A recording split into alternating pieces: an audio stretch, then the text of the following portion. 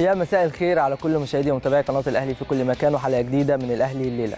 حلقة النهارده إن شاء الله بإذن الله هتكون حلقة مهمة جدا وخصوصا إن إحنا هنتكلم في كل ما يخص النادي الأهلي ومختلف الأنشطة داخل القلعة الحمراء وكل كمان ما يخص أعضاء وجماهير النادي الأهلي في كل مكان. الحلقة إن شاء الله هتكون مميزة وفي الجزء الثاني من حلقة النهارده هنستضيف طبعا أحد نجوم النادي الأهلي الكبار وهو الكابتن أحمد كشري طبعا نجم النادي الأهلي السابق. عشان نتكلم في العديد من الأمور بتخص النادي الأهلي خلال الفترة دي وبالتحديد فيما يخص الفريق الأول لكرة القدم واللي مركز خلال الفترة الحالية طبعا على بطولة الدوري. هذه البطولة الهامة جدا واللي كلنا بإذن الله بإذن الله مستنيينها من لاعبي وجهاز الفني للنادي الأهلي عشان يسعد طبعا كل الجماهير خلال الفترة دي. والمستنيين في الحقيقة الفرحة بشكل كبير قوي. بعد غياب أكثر من بطولة وفقدان أكثر من بطولة هذا الموسم بالتالي بطولة الدوري هي أحد البطولات الهامة جدا واللي متعود عليها بشكل كبير جدا جمهور النادي الأهلي. فبالتالي إن شاء الله بإذن الله هنتكلم النهارده في أمور كتير جدا هامة للغاية.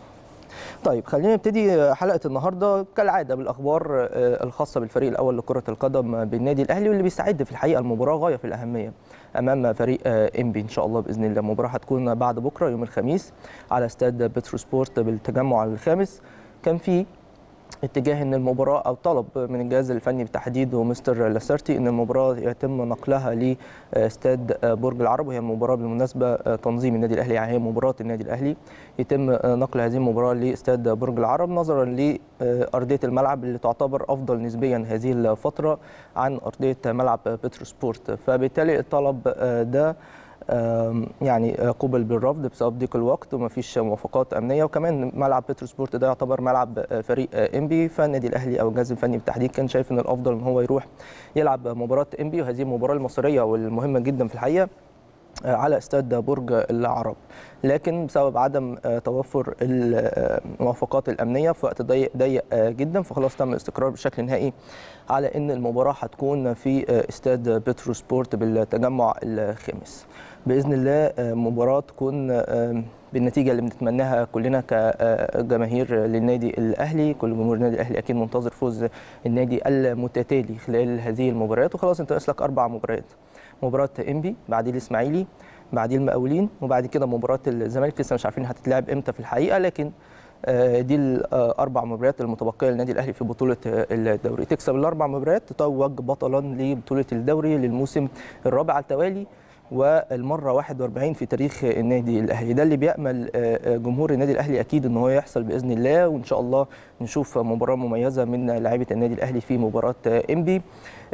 ممكن بعد الفوز الأخير كالعادة كالعادة بيجي في الآخر في الدقائق الأخيرة. طبعا في مباراة كانت قوية جدا أمام سموحة. دي لقطات زي ما إحنا شايفين من تدريبات النادي الأهلي. فبالتالي بعد الفوز الأخير في أكيد معنويات مرتفعة جدا. آه ممكن يكون الفوز صعب شوية بيجي في وقت كمان متأخر جدا. لكن مهم إنك كسبت مهم إنك خدت الثلاث نقط. المرحلة الحالية هي عايزة كده عايزة إنك تكسب وخلاص. آه نتمنى طبعا يكون في أداء جيد للنادي الأهلي. نتمنى إن إحنا نشوف شكل يرضي جماهير النادي الأهلي في أرضية الملعب. لكن في مراحل كده معينة لازم إن أنت تفكر في إنك إزاي تكسب وخلاص. أداء مش موجود مش مهم خالص مش مهم. الأداء مش هيجي الناس بعد كده يقول لك لا الأهلي كان وحش وكسب بطولة الدوري. لا خالص. بتتكتب في التاريخ إن أنت كنت بطل بطولة الدوري في موسم كذا في ظل منافسة كانت قوية جدا مع فريق كذا وكذا فبالتالي هو ده الأهم بالنسبة للنادي الأهلي خلال المرحلة الحالية سواء من خلال الجهاز الفني أو اللاعبين أو كمان جمهور النادي الأهلي. فبالتالي إحنا منتظرين أكيد ثلاث نقاط جديدة في مباراة انبي إن شاء الله بإذن الله بعد بكرة عشان يضافوا للنادي الأهلي يوصل للنقطة رقم 73 وتكون خطوة جديدة للفريق في مشواره نحو الحفاظ على بطولة الدوري. مباراة صعبة آه مباراة صعبة جدا في الحقيقة. صعبة ليه؟ لأن طبعا النادي الأهلي زي ما إحنا عارفين بينافس على بطولة الدوري في المقابل فريق انبي بينافس على البقاء في الدوري الممتاز. إحنا عارفين إن هو مهدد بالهبوط. آه فاز المباراة الأخيرة. على ما أتذكر كانت أمام الإسماعيلي. يا جماعة لو معلومتي غلط تفكروني. فاز بنتيجة 1-0 وقدر إن هو يوصل للمركز التاسع. هتقول لي إزاي هو المركز التاسع ومهدد بالهبوط. هقول لك إن في عدد كبير جدا من أندية الدوري في الحقيقة السنة دي مهددين بالهبوط حوالي 8 أو 9 أندية يعني. فكله بينافس على البقاء في بطولة الدوري ده بسبب تقارب النقاط ما بين الأندية في هذه المرحلة من بطولة الدوري العام. لكن خلاص بشكل رسمي النجوم نزل درجة ثانية كمان فريق الداخلية بعد ما خسر من نادي الزمالك بنتيجة 2-1 أيضا يعني فقد مكانه في الدوري الممتاز. فبالتالي خلاص هيبقى ناقص فريق واحد هو اللي هيهبط للدرجة الأدنى وبالتالي الباقي هيكمل في بطولة الدوري الممتاز. حتى الآن من الفريق ده إحنا مش عارفين لكن منهم فريق إنبي اللي هيواجههم اللي هيواجهه النادي الأهلي في المباراة المقبلة. من هنا جاية صعوبة هذه المباراة ومن هنا كمان جاية أهمية هذه المباراة اللي بيسعى فيها النادي الأهلي بكل قوة وحزم إن هو يفوز بهذه المباراة الصعبة في الحقيقة. نتمنى كل التوفيق للنادي الأهلي في مباراة انبي بعد بكرة إن شاء الله. المباراة هتكون في تمام الساعة 10 مساء إحنا عارفين كل المباريات في رمضان بتبقى الساعة 10 بالليل. إن شاء الله يكون الفريق موفق الجهاز الفني يكون موفق في اختيار التشكيل الأمثل للمباراة. وفي الحقيقة في الحقيقة لازم نشيد كل الاشاده بالجهاز الفني خلال المرحلة اللي فاتت وخلال آخر كام مباراة بالتحديد في ظل التغييرات المؤثرة اللي بيقوم بيها. وأنا مش بقول الكلام ده وخلاص في الحقيقة والله خالص لا. لو تقارن ما بين أداء الجهاز الفني أو بالتحديد مستر لاسارتي في آخر ثلاث أربع مباريات وما سبق المباريات دي من ماتشات أخرى هتلاقي إن يعني كان في تأخر في التغييرات شوية. كان في تغييرات غير منطقية شوية من وجهة نظر المحللين والفنيين. إحنا ما بنتكلمش من وجهة نظر الجماهير رغم إن الجماهير في منهم ناس كتير جدا طبعا بتفهم في في الكورة بشكل كبير يعني. لكن الآخر ثلاث أربع مباريات في تحسن كبير جدا من مستر مارتين لاسارتي ولازم نقول يا جماعة لينا ولا علينا في الحقيقة. ممكن أنت تكون واخد انطباع عن المدير الفني إن هو مدير فني لا يصلح للنادي الأهلي. أنت واخد انطباع ده أنت. لكن مش شرط يكون انطباعك ده صح خالص خالص يعني. ومش شرط الانطباع اللي انت خدته ده ان هو يستمر لا لازم تنظر بشكل دقيق في تغييرات الراجل في المباريات في الشكل الفني وبعد كده تقدر يا إما تثبت على وجهة نظرك يا إما تغيرها. لكن في الحقيقة آخر كام ماتش مستر لاسارتي تغييرات كلها مثمرة. تغييرات كلها بتأدي لفوز النادي الأهلي في المباريات. شفنا مستر لاسارتي أو طبعا بالتعاون مع جهازه الفني بيتم الاستقرار على سحب أحد العناصر من وسط الملعب والدفع بلاعب في الهجوم. ده في وأنت خلاص محتاج إن أنت لازم تكسب. وإحنا عارفين المرحلة دي أنت لازم تكسب أي ماتش. ما ينفعش تفقد أي نقطة. وبنشوف كمان إن أنت ممكن تسحب واحد من خط الدفاع وتنزل واحد أيضا في الثلث الأمامي عشان يبقى في كثافة هجومية أكتر. الكثافه الهجومية الأكتر دي ممكن تؤدي لفوز وضغط طبعا قوي على الفريق المنافس وده في النهاية بيؤدي لفوز الفريق أو إحراز الأهداف اللي بتؤدي لحصول على ثلاث نقاط. ممكن الكلام ده نكون شفناه مؤخرا من مستر لاسارتي لما خلاص خد على الأجواء بشكل كامل عرف إمكانيات اللاعبين بشكل كامل. الجميل كمان في المباراة الأخيرة أمام سموحة في الحقيقة إن مستر لاسارتي ساب حسين الشحات في في الملعب. إحنا مش بنتكلم على لكن ده لعيب مهم في الحقيقة زيه زي بقية لعيبة النادي الأهلي لكن كان فاقد شوية للثقة. الثقة دي كان فاقدها ليه؟ ممكن بسبب الضغوط طبعا عليه وده مش ممكن ده مؤكد لكن أيضا كان بسبب إن هو كان كل مباراة بيخرج الشوط الثاني أو في مباريات بعضها كمان ما كانش بيبتدي المباريات فبالتالي الثقة عنده كانت قليلة شوية. إن أنت تسيب حسين الشحات المباراة اللي فاتت 90 دقيقة في الملعب ده شيء مميز. هتكون بداية بالنسبة له إن هو يكون يستعيد الثقة الخاصة بيه. وكمان يسحب احمد فتحي ويعتمد على حسين في مركز ال back right زي ما كان بيلعب قبل كده في المقصة. فبالتالي دي كلها أمور جيدة. واول مرة حسين الشحات من ساعة ما جه النادي الأهلي يلعب في هذا المركز. المهم يعني إن أي لعيب أنت محتاجه خلال الفترة دي أي لعيب محتاج إن أنت تديله ثقة بشكل كبير جدا. كل دي إيجابيات ممكن نقراها من خلال المباريات الأخيرة لمستر لاسارتي. إيجابيات كلها جيدة لهذا المدرب. نتمنى له الاستمرار في هذا الأداء أو هذا التفكير الفني أكيد هو مقتنع بيه تماما. وأعتقد أعتقد بشكل كبير عدد من جماهير النادي الأهلي مقتنعه بهذه التغييرات والأمور الفنية اللي حصلت خلال الفترة اللي فاتت. إحنا هنا في الحقيقة البرنامج إحنا ما بنحللش كورة ولا حاجة يعني. تحليل الكورة ده متروك لنجوم الكورة والمحللين والمتخصصين يعني.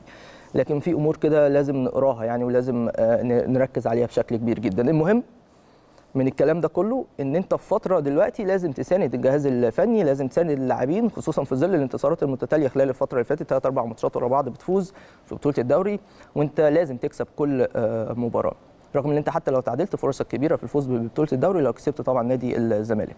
لكن الأهم إن إن شاء الله بإذن الله الفريق يواصل على هذا المنوال خلال الفترة المقبلة ويقدر إن شاء الله يحافظ على لقبه المفضل لجماهير النادي الأهلي وهي بطولة الدوري العام. كل التوفيق إن شاء الله بإذن الله بالنسبة للنادي الأهلي. أول أخبار معانا وبتتكلم عن إن الفريق خلاص بكرة هيدخل معسكر مغلق. إحنا عارفين النهارده كان في تدريبات وإمبارح كان في كمان تدريبات.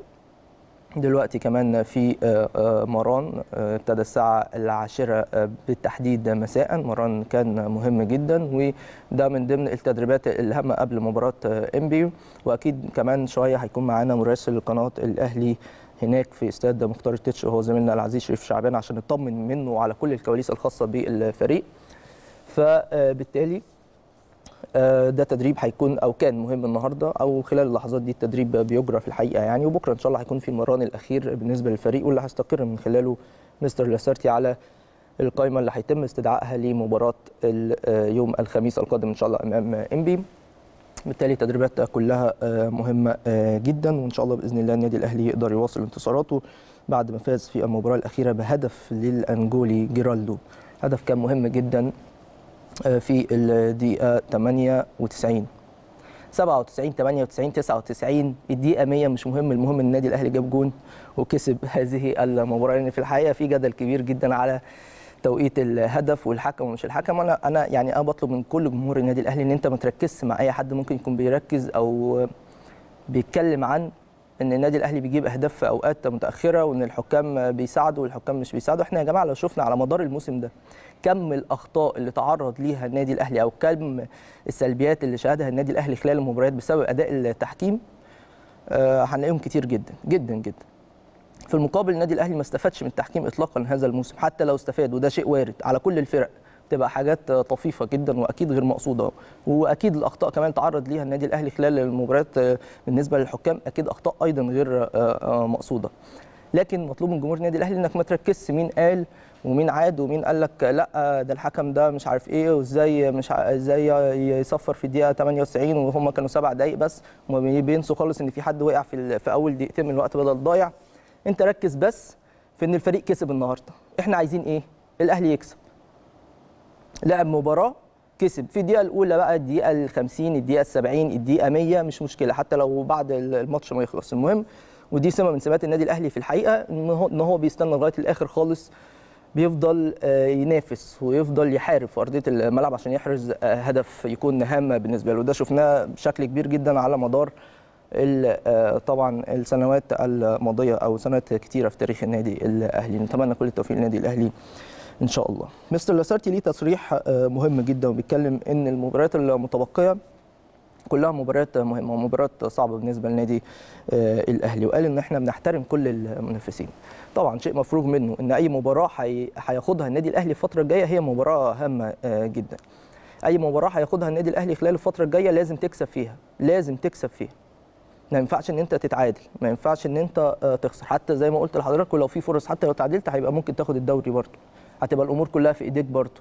لكن إحنا مش عارفين ظروف كل مباراة بتبقى ماشية إزاي. كل مباراة بيبقى ليها ظروفها مهم جدا انك تركز مهم جدا انك تركز في المباريات كلها في انك تكسب اي مباراة بتاخدها وبإذن الله ان شاء الله النادي الأهلي يكسب كل المباريات اللي هياخدها خلال الفترة اللي جاية.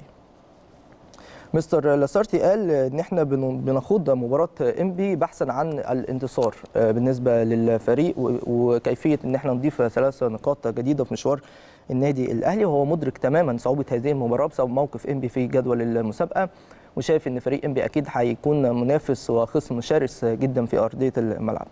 فده شيء أكيد مهم جدا وإن شاء الله بإذن الله يكون الفريق موفق في تخطي هذه العقبة الصعبة جدا أمام فريق انبي فريق طبعا كويس جدا مع جهاز فني محترم بقيادة الكابتن علي ماهر نجم النادي الأهلي السابق واللي يمكن بيصادفوا سوء حظ خلال المباريات هذا الموسم مع فريق إنبي. ممكن ما بنشوفش الأداء المتوقع من فريق باسم إنبي. عارفين مدى إمكانياته وتاريخه على مدار سنوات عديدة من ساعة ما طلع الدوري الممتاز في بطولة الدوري. لكن يبقى منافس صعب يبقى خصم صعب فريق إنبي. إن شاء الله النادي الأهلي يتخطى هذه العقبة ويفوز في هذه المباراة. من ضمن الأخبار كمان الخاصة بالفريق وهو إن الجهاز الفني بيطمئن على وليد سليمان ومروان محسن في مران اليوم. إحنا عارفين إن في بعض التدريبات البدنية المكثفة للاثنين دول بالتحديد سواء وليد سليمان أو مروان محسن وخصوصا إن هم لسه راجعين من إصابات مختلفة. فبالتالي تركيز كبير جدا في كيفية تأهيلهم بشكل جيد كيفية طبعا أداء عمليات الاستشفاء الخاصه بهم بعد المباراة الأخيرة اللي شاركوا فيها طبعا حتى لبعض الدقائق القليلة لكن أكيد كان ليهم دور مؤثر جدا كان واضح خلال المباراة مروان محسن لعيب مهم جدا في خط الهجوم وليد سليمان لعيب مهم جدا جدا كلنا عارفينه وخبراته أكيد هامة جدا بالنسبة لصفوف النادي الأهلي خلال المرحلة الحالية. بعد عودته من الإصابة إحنا فقدنا وليد وليد سليمان لحوالي 3 أو 4 شهور فبالتالي كانت عودته أيضا غاية في الأهمية في الحقيقة فبالتالي هم كان لهم بعض البرنامج البرامج الاستشفائية الخاصة بوليد سليمان ومروان محسن وبعض التدريبات كمان التأهيلية والبدنية اللي من دورها أو بدورها بتعلي المعدل البدني عند وليد ومروان. أكيد هيكونوا عنصر أو عناصر مهمة للنادي الأهلي خلال المرحلة اللي جاية وفيما تبقى من مباريات في بطولة الدوري. طيب بالنسبة كمان للإصابات إحنا عارفين عندنا إصابة يمكن بقى لها فترة كبيرة شوية. عمرو جمال لاعب مهم جدا في صفوف النادي الأهلي. آه بقى له فترة كبيرة قوي قوي قوي بعيد عن الملاعب. بقى لنا فترة كبيرة جدا جدا ما نشوفش عمرو جمال بيلعب. دي بعض طبعا أهداف عمرو جمال. وفي الحقيقة فاكرين طلعت عمرو جمال لما كان أول ما طلع كده من قطاع الناشئين في النادي الأهلي كانت طلعه في الحقيقة يعني كبيرة جدا والكل تنبأ بشكل كبير إن عمرو جمال ده خليفة عماد متعب الحقيقي. وفعلا الراجل قدر إن هو على مدار سنتين ثلاثة يبقى لعيب كبير قوي وقدر إن هو يساهم بشكل كبير في إحراز العديد والعديد من الأهداف والبطولات مع النادي الأهلي المؤثرة بشكل كبير. وكانت آخرهم طبعا بطولة كأس مصر الأخيرة اللي قدر يفوز بها النادي الأهلي الموسم قبل الماضي. واللي قدر إن هو يحرز هدف مهم جدا هدف تعادل الأهلي في ال extra time وكمان بعديه ضاف أحمد فتحي هدف كان مهم من assist كمان لعمرو جمال. لكن عموما يعني آه عمرو جمال الفترة دي بيشتكي من العضله الأمامية ودي كانت إصابة كانت عنده أيضا آه سابقا وكان شفي منها وبعدين نزل الملعب وجات له تاني فعمل أشعة النهارده آه جديدة على العضلة الأمامية بالتحديد عشان يتم قياس مدى تلاؤم العضلة ومدى إمكانية عودته للتدريبات الجماعية مع النادي الأهلي ومن ثم ان ممكن يكون متاح للجهاز الفني لو طلبوا الجهاز الفني للمشاركة في المباريات خلال الفترة اللي جاية. يعني حالته بتتحسن بشكل كبير عمرو جمال وممكن يكون إضافة قوية للنادي الأهلي خلال المرحلة المقبلة. وهو لعيب في الحقيقة مهم جدا جدا نتمنى عودته سريعا للنادي الأهلي. مش عمرو جمال بس أكيد أي لاعب بيفقده النادي الأهلي خلال الفترة دي نتمنى عودته سريعا. ليه؟ عشان يكون في خيارات كتير جدا للجهاز الفني. الخيارات دي بدورها بتقدر تساعد الجهاز الفني في المباريات في الشكل التكتيكي الشكل الفني اللي عايز يبتدي بيه أي مباراة الاستراتيجية اللي بيفكر فيها السيناريو اللي عايز يلعب بيه ده بيبقى بناء على الأدوات اللي معاك. لما بتفقد بعض الأدوات ممكن يكون أنت بتضطر تعمل بعض الأفكار اللي أنت ممكن ما تكونش عايزها قوي أو ما تكونش أساسية بالنسبة لك. لكن لما يكون عندك كل اللاعبين متاحين فبيبقى عندك خيارات عديدة في الحقيقة تقدر من خلالها تستغل هؤلاء اللاعبين في الفوز في المباريات. نتمنى عودة عمرو جمال وكل اللاعبين إن شاء الله سريعا خلال الفترة اللي جاية.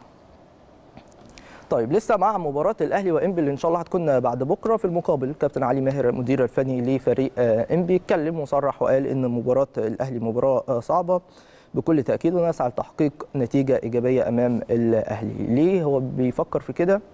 علشان هو موقفه يمكن صعب شوية. أي نقطة هو محتاجها خلال الفترة دي أي نقطة هو عايز من أي مباراة أي نقطة هياخدها هتفرق معاه في مسيرة انبي وإمكانية بقائه في بطولة الدوري. من هنا جاية زي ما قلت لحضرتك صعوبة المباراة سواء لانبي أو للنادي الأهلي. أصعب شوية للنادي الأهلي في الحقيقة لأن النادي الأهلي أكيد هذا الموسم عنده منافسة شرسة مع الزمالك وبيراميدز على بطولة الدوري. بيراميدز بيراميدز خلاص شبه خرج خالص من المنافسة يعني لكن المنافسة ما بين الأهلي والزمالك. نادي الزمالك ماشي بشكل كويس جدا بيكسب مبارياته الأخيرة في بطولة الدوري. في المقابل النادي الأهلي أيضا مستمر في انتصاراته بشكل كبير جدا. لكن الكابتن علي ماهر أكيد قال إن هو بيسعى ل تحقيق نتيجة إيجابية أمام متصدر الدوري اللي هو النادي الأهلي وإن هو بيحاول بكل تأكيد إن هو يفوز بهذه المباراة ولو ما فاز يتعادل بهذه المباراة. إن شاء الله كابتن علي الأهلي هو اللي يفوز. نتمنى أكيد أكيد فريق جيد زي إنبي وفريق ليه اسم كبير في بطولة الدوري العام إن هو يستمر في بطولة الدوري. بس إن شاء الله ما يكونش على حساب النادي الأهلي ما يكونش على حساب فقد النادي الأهلي للنقاط. بإذن الله النادي الأهلي هو اللي يفوز يحصد الثلاث نقاط ويواصل انتصاراته في بطولة الدوري. إن شاء الله نحو تحقيق هذا اللقب الغالي جدا. طيب حلو قوي خلينا نروح سريعا لزميلنا العزيز شريف شعبان مراسل قناة الأهلي عشان نطمن منه بشكل كبير جدا عن كواليس التدريبات النهارده. التدريبات تعتبر الأخيرة أو التدريب قبل الأخير بالنسبة للفريق قبل مباراة إنبي شريف مساء الفل عليك. شكرا ليك يا زميل أمير. تحياتي ليك ولكل مشاهدي قناة الأهلي في كل مكان. ورمضان كريم عليك وعلى كل مشاهدي. الله أكرم. طمنا يا شريف عن التدريبات النهارده. الأخبار إيه؟ الكواليس ماشية إزاي بالنسبة للاعبين؟ استعداداتهم إن شاء الله للمباراة المقبلة أمام إنبي ماشية إزاي؟ يمكن التمرين بدأ في التاسعه والنصف مساء يمكن طبعا بحضور رئيس مجلس الإدارة الكابتن الكبير الكابتن محمود الخطيب يمكن شاهد يمكن جزء حضر النهارده. آه حضر مم. التمرين يمكن قعد حوالي ساعة في التمرين وحضر بعد كده التمرين. خليني أقول لك إن كان في اجتماع من مستر لاسارتي ومدير الكرة الكابتن سيد الحفيظ مع اللاعبين حوالي خمس دقائق اتكلموا فيها بقى عن مباراة إنبي والتركيز في مباراة إنبي طبعا حذرهم خطورة فريق إنبي جهاز أهلاوي ما يغرهمش طبعا إن انبي في المراكز المتاخره في ترتيب جدول الدوري إن انبي هيلعب طبعا على الفوز فلازم ياخدوا بالهم لازم يخلصوا التيم من بدري ولازم يركزوا في انهاء الهجمات. بعد المحاضرة اللي استمرت حوالي خمس دقائق اتكلم فيها لاسات واتكلم فيها فتره الحفيظ. يمكن كان في إحماء للاعبين وبعد كده تقسيم اللاعبين لمجموعتين من نمسه واحدة والضغط على الخصم. والآن الراجل بيعمل تمرين تخصصي والمهاجمين المهاجمين كيفية إحراز الهدف والمدافعين إزاي ينقذوا الهجمة أو أو يشيلوا الهجمة من على ال 18 خليني أقول لك إن أيمن أشرف بيرتدي قناع وجه لأن طبعا عنده كسر في أنفه يمكن مستر لاشارتي حريص الآن قدامي إن هو يصلح الأخطاء أول بأول. خليني أقول لك إن على الجانب الآخر برنامج يمكن ليه مؤمن زكريا على الجانب الآخر أيضا تدريب الحراس. الشناوي وشريف وشوبير وأحمد طارق وعلي لطفي مع الكابتن طارق سليمان تمرين قوي جدا في جانب آخر من الملعب. يمكن دي التمرينات إلى الآن غالبا بعد التمرين التخصصي هيكون في تقسيمة عشان خاطر لاسارتي يشوف ممكن هيلعب مين في مباراة ام بي زميل أمير اتفضل حالة بعض اللاعبين يا شريف عايز اطمن عليهم بالتحديد صالح جمعة رمضان صبحي عمرو جمال ناصر ماهر. الأمور بالنسبة لهم ماشية إزاي؟ هل بيشاركوا في التدريبات الجماعية بشكل طبيعي ولا بيعانوا من بعض الإجهاد؟ إحنا عارفين عمرو يمكن عنده العضلة الأمامية لسه عنده برنامج تأهيلي لكن بخصوص ما تبقى من أسماء قلتها لك يا شريف. خليني أقول لك إن الكل بيشارك. صالح عمرو كل بيشارك كويس. التمرينات امامي الآن يمكن صالح النهارده كان يعني يمكن اللاعبين النهارده النهارده كان في طبعا أحد البرامج الترفيهية كان مشارك فيها صالح. فالنهارده اللاعبين النهارده كلهم كانوا بيتكلموا معاه عن هذا البرنامج. وطبعا روح الفكاهة ما بين اللاعبين والمداعبات ما بين بعض. النهارده كان يمكن المداعبات قبل بدايه التمرين أو في غرف اللبس لكن كل صالح موجود أمامي وما شاء الله يمسك الخشب عامل تمرينة كويسة جدا. الراجل يعني بيثبت نفسه من مباراة لأخرى خلاص. دخل قلوب الأهلاوية خلاص الراجل ما شاء الله ركز الراجل بيجتهد الراجل بيقدم الفترة الأخيرة مستوى ولا أروع ولا أجمل باقي اللاعبين الكل الكل بيشارك في التمارين الحمد لله. يمكن من فترة كبيرة نمسك الخشب فإن من فترة كبيرة جدا لاعبي النادي الأهلي يعني بكم كبير في الملعب. طبعا يعني الواحد بيقولها وإيده على قلبه ما, ما تعرفش. ربنا يستر. ربنا يستر. لكن الحمد لله لا الدنيا الدنيا كويسة وكل كل بيشارك باستثناء بس مؤمن زكريا هو اللي بيتعمل له برنامج لكن الباقي كل اللاعبين بيشاركوا في التمرين مع مستر لاسارتي وباقي الجهاز تمام. بشكرك يا شريف شكرا جزيلا. طبعا زميلنا العزيز شريف شعبان مراسل قناة الأهلي واللي قال لنا كل التفاصيل الخاصة بمران الفريق النهارده استعدادا لمباراة انبي المقبله وطمنا بشكل كبير جدا على الفريق قبل هذه المباراة الهامة جدا. إن شاء الله نتمنى النادي الأهلي يكون موفق في هذه المباراة. نتمنى إن شاء الله بإذن الله كل اللاعبين اللي هيشاركوا في المباراة دي اللي هيتم اختيارهم سواء أساسيين أو حتى كاحتياطيين في مباراة انبي يكونوا موفقين وإحنا مش عايزين مباراة انبي بس في الحقيقة إحنا عايزين نكسب أي مباراة جاية. وده طبيعي عامة يعني حتى في ظل عدم وجود أي منافسة للنادي الأهلي في بطولة الدوري خلال السنوات الماضية كان أي مباراة بياخدها الفريق حتى لو حسم بطولة الدوري كان بيبقى عايز يكسب. دي سمة من سمات النادي الأهلي الأساسية. لكن مهم جدا بقى خلال الفترة الحالية إنك تفوز في أي ماتش بتخوضه. بداية من مباراة انبي إن شاء الله هيكون متبقي لك أربع مباريات. انبي زي ما قلت لحضراتكم إسماعيلي مقاولين وزمالك. أربع مباريات ب 12 نقطة إن شاء الله النادي الأهلي يضيفهم في رصيده عشان يحرز بطولة الدوري بشكل رسمي. كل التوفيق للنادي الأهلي فيما تبقى من مباريات في بطولة الدوري. بمناسبة رمضان صبحي النهارده كان في زيارة من رمضان لمستشفى 57 53 طبعا مستشفى سرطان الأطفال واللي زار فيها طبعا المرضى طبعا ودي صور زي ما إحنا شايفين كده من زيارة رمضان صبحي وهي ناحية إنسانية مهمة جدا طبعا من لعيب ونجم كبير جدا زي رمضان صبحي. أكيد الأطفال كانوا سعداء جدا لما شافوا لعيب كبير زي رمضان بيزورهم وبيرفع من معنوياتهم عشان يحاربوا هذا المرض. الصعب بكل تأكيد وأكيد نتمنى لهم كل الشفاء العاجل بالنسبة لكل إخواتنا كلهم اللي موجودين في مستشفى 57 53 أو في مختلف المستشفيات الحقيقة لأن عدد المستشفيات دي الحمد لله كتر شوية فبيبقى في فرصة أكبر لعلاج عدد أكبر من المرضى أو المصابين يعني. نتمنى لهم نتمنى لهم إن شاء الله الشفاء العاجل دي صور من زيارة رمضان صبحي النهارده لمستشفى 57 57 طيب ده كان كل ما يتعلق بالفريق الأول لكرة القدم من النادي الأهلي. لكن بخصوص قطاع الناشئين بقى النهارده كان في اجتماع مهم جدا من الكابتن محمود الخطيب رئيس النادي الأهلي مع الكابتن فتحي مبروك مدير قطاع الناشئين لمناقشة المرحلة السابقة أو الموسم الماضي بشكل كامل في قطاع الناشئين وكيفية تطوير القطاع خلال الموسم المقبل. والطلبات اللي ممكن يكون محتاجها قطاع الناشئين خلال الموسم المقبل والسلبيات والإيجابيات اللي كانت موجودة خلال الفترة اللي فاتت. الاجتماع كان مطول شوية. زي ما قلت لحضراتكم ما بين الكابتن محمود الخطيب والكابتن فتحي مبروك. وتطرقوا للعديد والعديد من الأمور ومعايير التقييم لشؤون قطاع الكرة على كافة المستويات.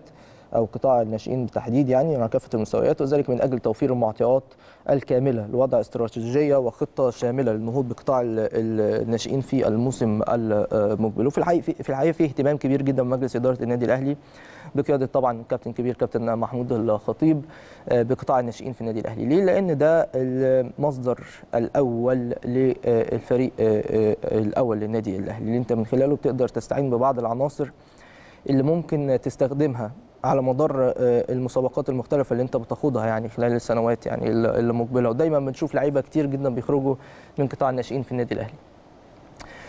كان طالع سمعة عن النادي الأهلي في فترة من فترات إن هو دايما بيجيب لعيبة من بره وكلام من ده. لكن إحنا لو شفنا دلوقتي الفريق الأول في النادي الأهلي هتلاقي تقريبا 70% من الفريق لاعبين من أبناء النادي الأهلي. هاتهم كده من حراسة المرمى. عد معايا هتلاقي شريف إكرامي هتلاقي محمد الشناوي.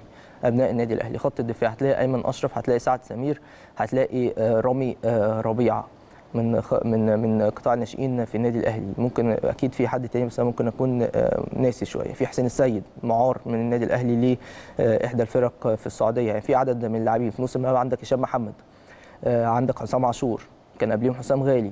عندك ناس كتير جدا يعني من قطاع الناشئين في النادي الأهلي. ده شيء بيبقى في الحقيقة مهم جدا. في خط الهجوم عندك عمرو جمال عندك لاعبين رمضان صبحي. في عدد كبير من اللاعبين في الحقيقة اللي بيكونوا عندهم شخصية النادي الأهلي. الشخصية دي بتيجي منين؟ أو بيتربوا عليها إزاي؟ لما بيكونوا موجودين في قطاع الناشئين في النادي الأهلي. فيعني أكيد دور قطاع الناشئين دور مهم جدا وده كان من خلال اجتماع كمان الكابتن محمود الخطيب النهارده مع الكابتن فتحي مبروك بخصوص هذا الملف الهام جدا.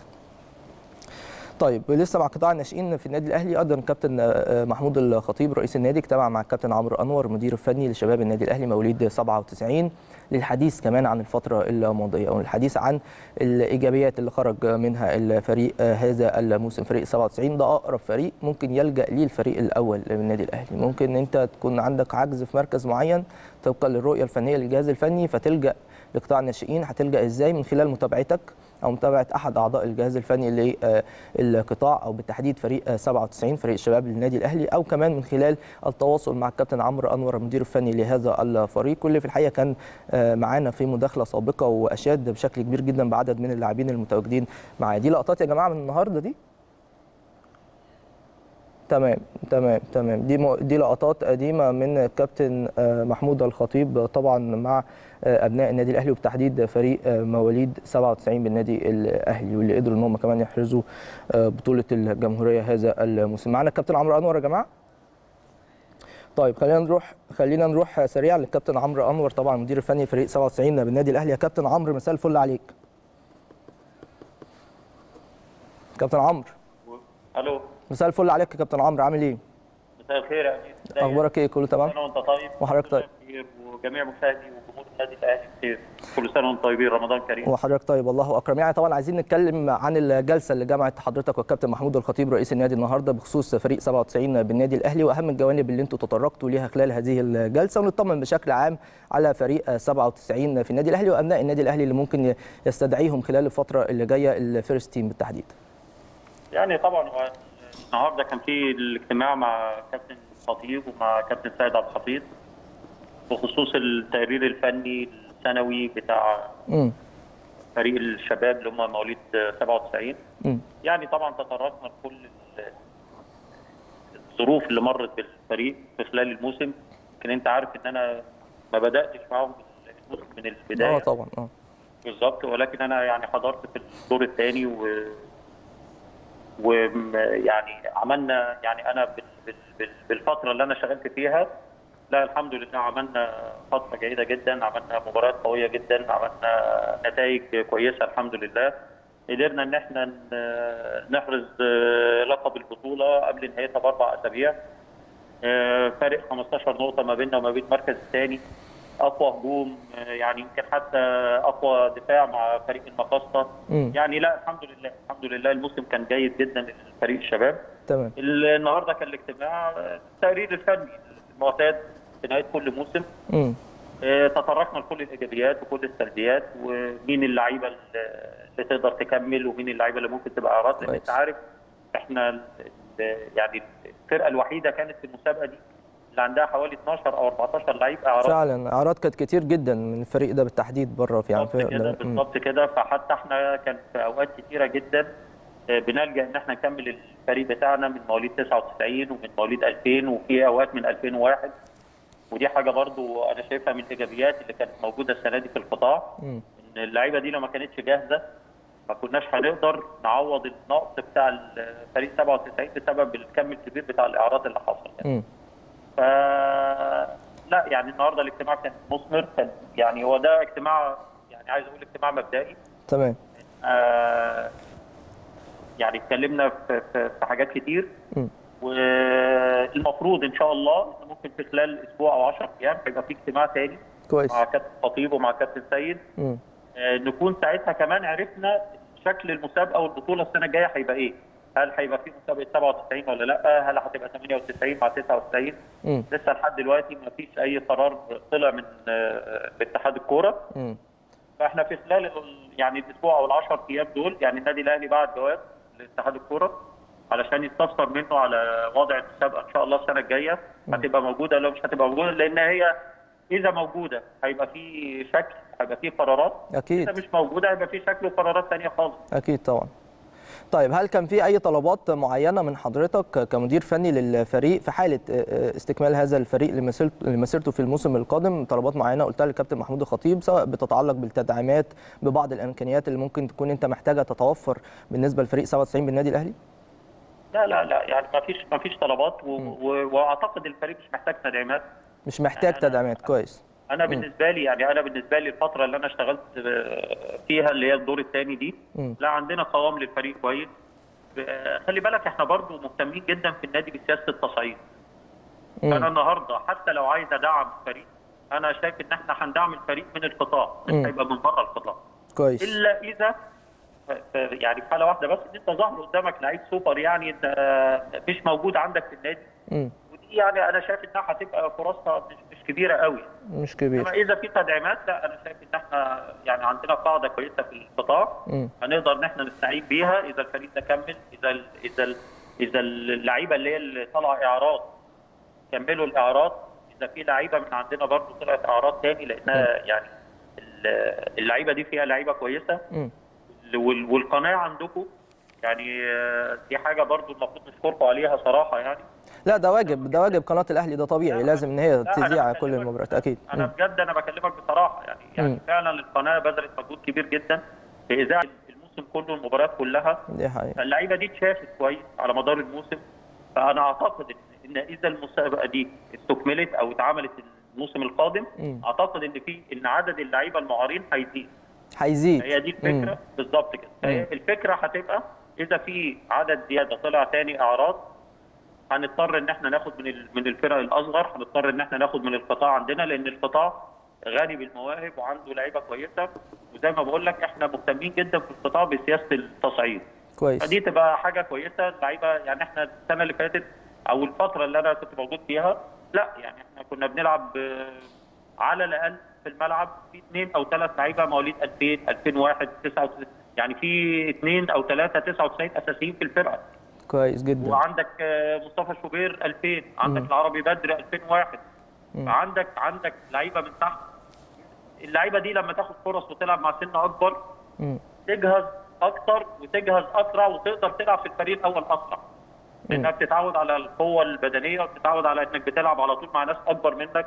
وأسرع منك وأقوى منك فده بيفيدك وبيزودك في كل النواحي البدنية بتاعتك والفنيه طيب آه، كم في المية يا كابتن من فريق 97 يقدروا يمثلوا الفريق الأول للنادي الأهلي من وجهة نظرك وطبعا من خلال قيادتك لفريق 97 خلال المرحلة الماضية؟ لا ما أنت أنت عندك already خلي بالك أنت عندك في ناس كتير بتلعب في الفريق الأول okay لكن اللي ممكن ما يكونوش تصعدوا خلال الفترة اللي فاتت ممكن بنسبة لا، كم في المية عدد منهم يعني- يصعد يعني؟ في يعني في في حوالي ثلاث لعيبة أو أربع لعيبة. كمان يبقوا موجودين مم. و ودي أنا بتكلم في بخصوص الفريق الأول بالتحديد يا كابتن لأن أكيد بيبقى في سمات معينة وخاصة لقطاع الناشئين أو اللاعبين في قطاع الناشئين إن هم لازم تكون تتوفر عندهم هذه السمات عشان يقدروا يمثلوا الفريق الأول آه، للنادي الأهلي سواء من ناحية الإمكانيات من ناحية الضغوط اللي بيتعرضوا آه، ليها من جوانب عديدة في الحقيقة. فأنا عشان كده بسألك ممكن يكون كم في المية من أبناء النادي الأهلي في قطاع الناشئين بالتحديد في الفريق اللي حضرتك بتقوده بمختلف الأعمار اللي حضرتك بتمرنها؟ لأن زي ما حضرتك قلت لنا في آه، اثنين مواليد 2000 وثلاثه مواليد 2001 و99 وكلام من ده. كم في المية منهم ممكن يمثل الفريق الأول للنادي الأهلي من وجهة نظرك يعني؟ هي بص بص مش هتقدر تديها نسبة بالظبط كويس. إنما أنا أنا أنا النهارده بكلمك خلي بالك اللعيبة اللي هي ال 99 وال 2000 دول خلاص okay already موجودين في النادي. امم إمتى يجي الوقت؟ هيبقى حسب المركز اللي هو بيلعب فيه وحسب احتياجات بتاعة الفريق الأول. تمام. حسب وحسب قدرة اللعيب على إنه يقدر يتعامل مع المباريات بتاعة الفريق الأول. إنما أنت النهارده لو بتكلمني على الفريق بتاع 97 فريق 97 بعيد عن الأربعة اللي هم فوق اللي متقيدين اللي بيلعبوا في 12 واحد طلعوا بره إعارات واثبتوا وجودهم يعني فعلا، الناس فعلا. لما لعبت بره إثبتت وجودها و... والناس كلها أشادت بيهم وبمستواهم بتتكلم على اللعيبة اللي موجودين يعني فوق ال 12 دول وفوق الاربعه اللي هم متأيدين وبيلعبوا في الفريق الأول لا في حوالي ثلاث لعيبة وفي أربع لعيبة كمان. آه، يعني أنا شايف إن هم محتاجين فرصة. محتاجين فرصة. كويس. الفريق الأول. امم آه، كان في مباراة ودية كان في تمرين إن كان إن كان. يقدر الراجل أو يقدر مستر دخلتي يقدر يشوفهم يحكم عليهم هم ينفعوا في الوقت ده ولا ما ينفعوش؟ إذا حصل كان في مسابقة الموسم اللي جاي أعتقد إن دي برضه هتبقى فرصة ليهم على مدار الموسم إن أنت تقدر اللعيبة دي تتشاف كويس إن كان في المباريات الرسمية لأن أنا يعني حتى الفترة اللي إحنا اشتغلنا فيها لا كان على طول بيجي كابتن سيد عبد الحفيظ كان بيجي على طول سبستيان كانوا بيجوا على طول الماتشات اللي عندنا في النادي كانوا بيتفرجوا عليها وكانوا بيبقوا كويس. موجودين. كويس. وده كان بيدي دافع وحافز كويس. جدا للعيب. فمعنى كده إن في أصلا اهتمام من من الجهاز الفني بتاع الفريق الأول. امم نتمنى إن شاء الله إن الفترة اللي جاية الرؤية تبقى واضحة. آه علشان أتمنى اتحاد الكرة يرد بسرعة بس عشان آه، النادي يلحق يسيستم نفسه بالظبط. بالظبط. أنا أنا يعني دي النقطة اللي أنا بتكلم فيها. إن الرؤية تبقى واضحة بحيث. إن أنت النهارده ك... ك... كنادي أهلي تعرف تعمل الخطة بتاعتك بتاعت الموسم اللي جاي هتقدر تشتغل على مين. المسابقه دي موجودة المسابقه دي مش موجودة. هتبتدي تضم فرق هتبتدي تضم لعيبة. تبقى انت عارف ال... ال... ال... الخطة بتاعتك اللي هتشتغل بيها بقية الموسم. من بدري بحيث إن أنت تقدر تحضر لها وتجهز لها من بدري إن شاء الله. طيب أخيرا عايز أعرف أهم الكلمات أو أهم النصائح اللي ممكن يكون وجهها الكابتن محمود الخطيب خلال هذا الاجتماع يا كابتن عمرو؟ لا هو الكابتن محمود يعني صراحة يعني يعني أنا يعني أنا برضو النهارده لقيته عنده دراية كبيرة جدا بالفرقة وكان. بيتفرج على على الماتشات عن طريق آه، قناة الأهلي يعني حتى النهارده وأنا بتكلم معاه في حاجات لقيته هو يعني لقيته عارفها أصلا يعني كويس يعني آه دي حاجة دي حاجة كويسة جدا مم. كان كل ال- يعني كل التركيز وكل حاجة إن اللعيبة الكويسة إذا ملهاش فرصة في النادي يعني ملهاش فرصة في الفريق الأول دلوقتي لا لازم يتعمل لها إعارات علشان تكتسب خبرات وتقدر تلعب وتقدر تستفاد وترجع تفيد النادي في أسرع وقت إن شاء الله. صح. إن شاء الله بإذن الله. كابتن عمرو أنا بشكرك. شكرا جزيلا على هذه المداخلة. طبعا كابتن عمرو أنور المدير الفني لشباب النادي الأهلي مواليد 97 وكلمنا بشكل مفصل عن كل ما يخص يخص هذا الفريق وبالتحديد كمان فيما يتعلق بالاجتماع مع الكابتن محمود الخطيب النهارده رئيس النادي الأهلي. والواضح جدا إن هو كان اجتماع آه، مثمر وجيد آه، جدا.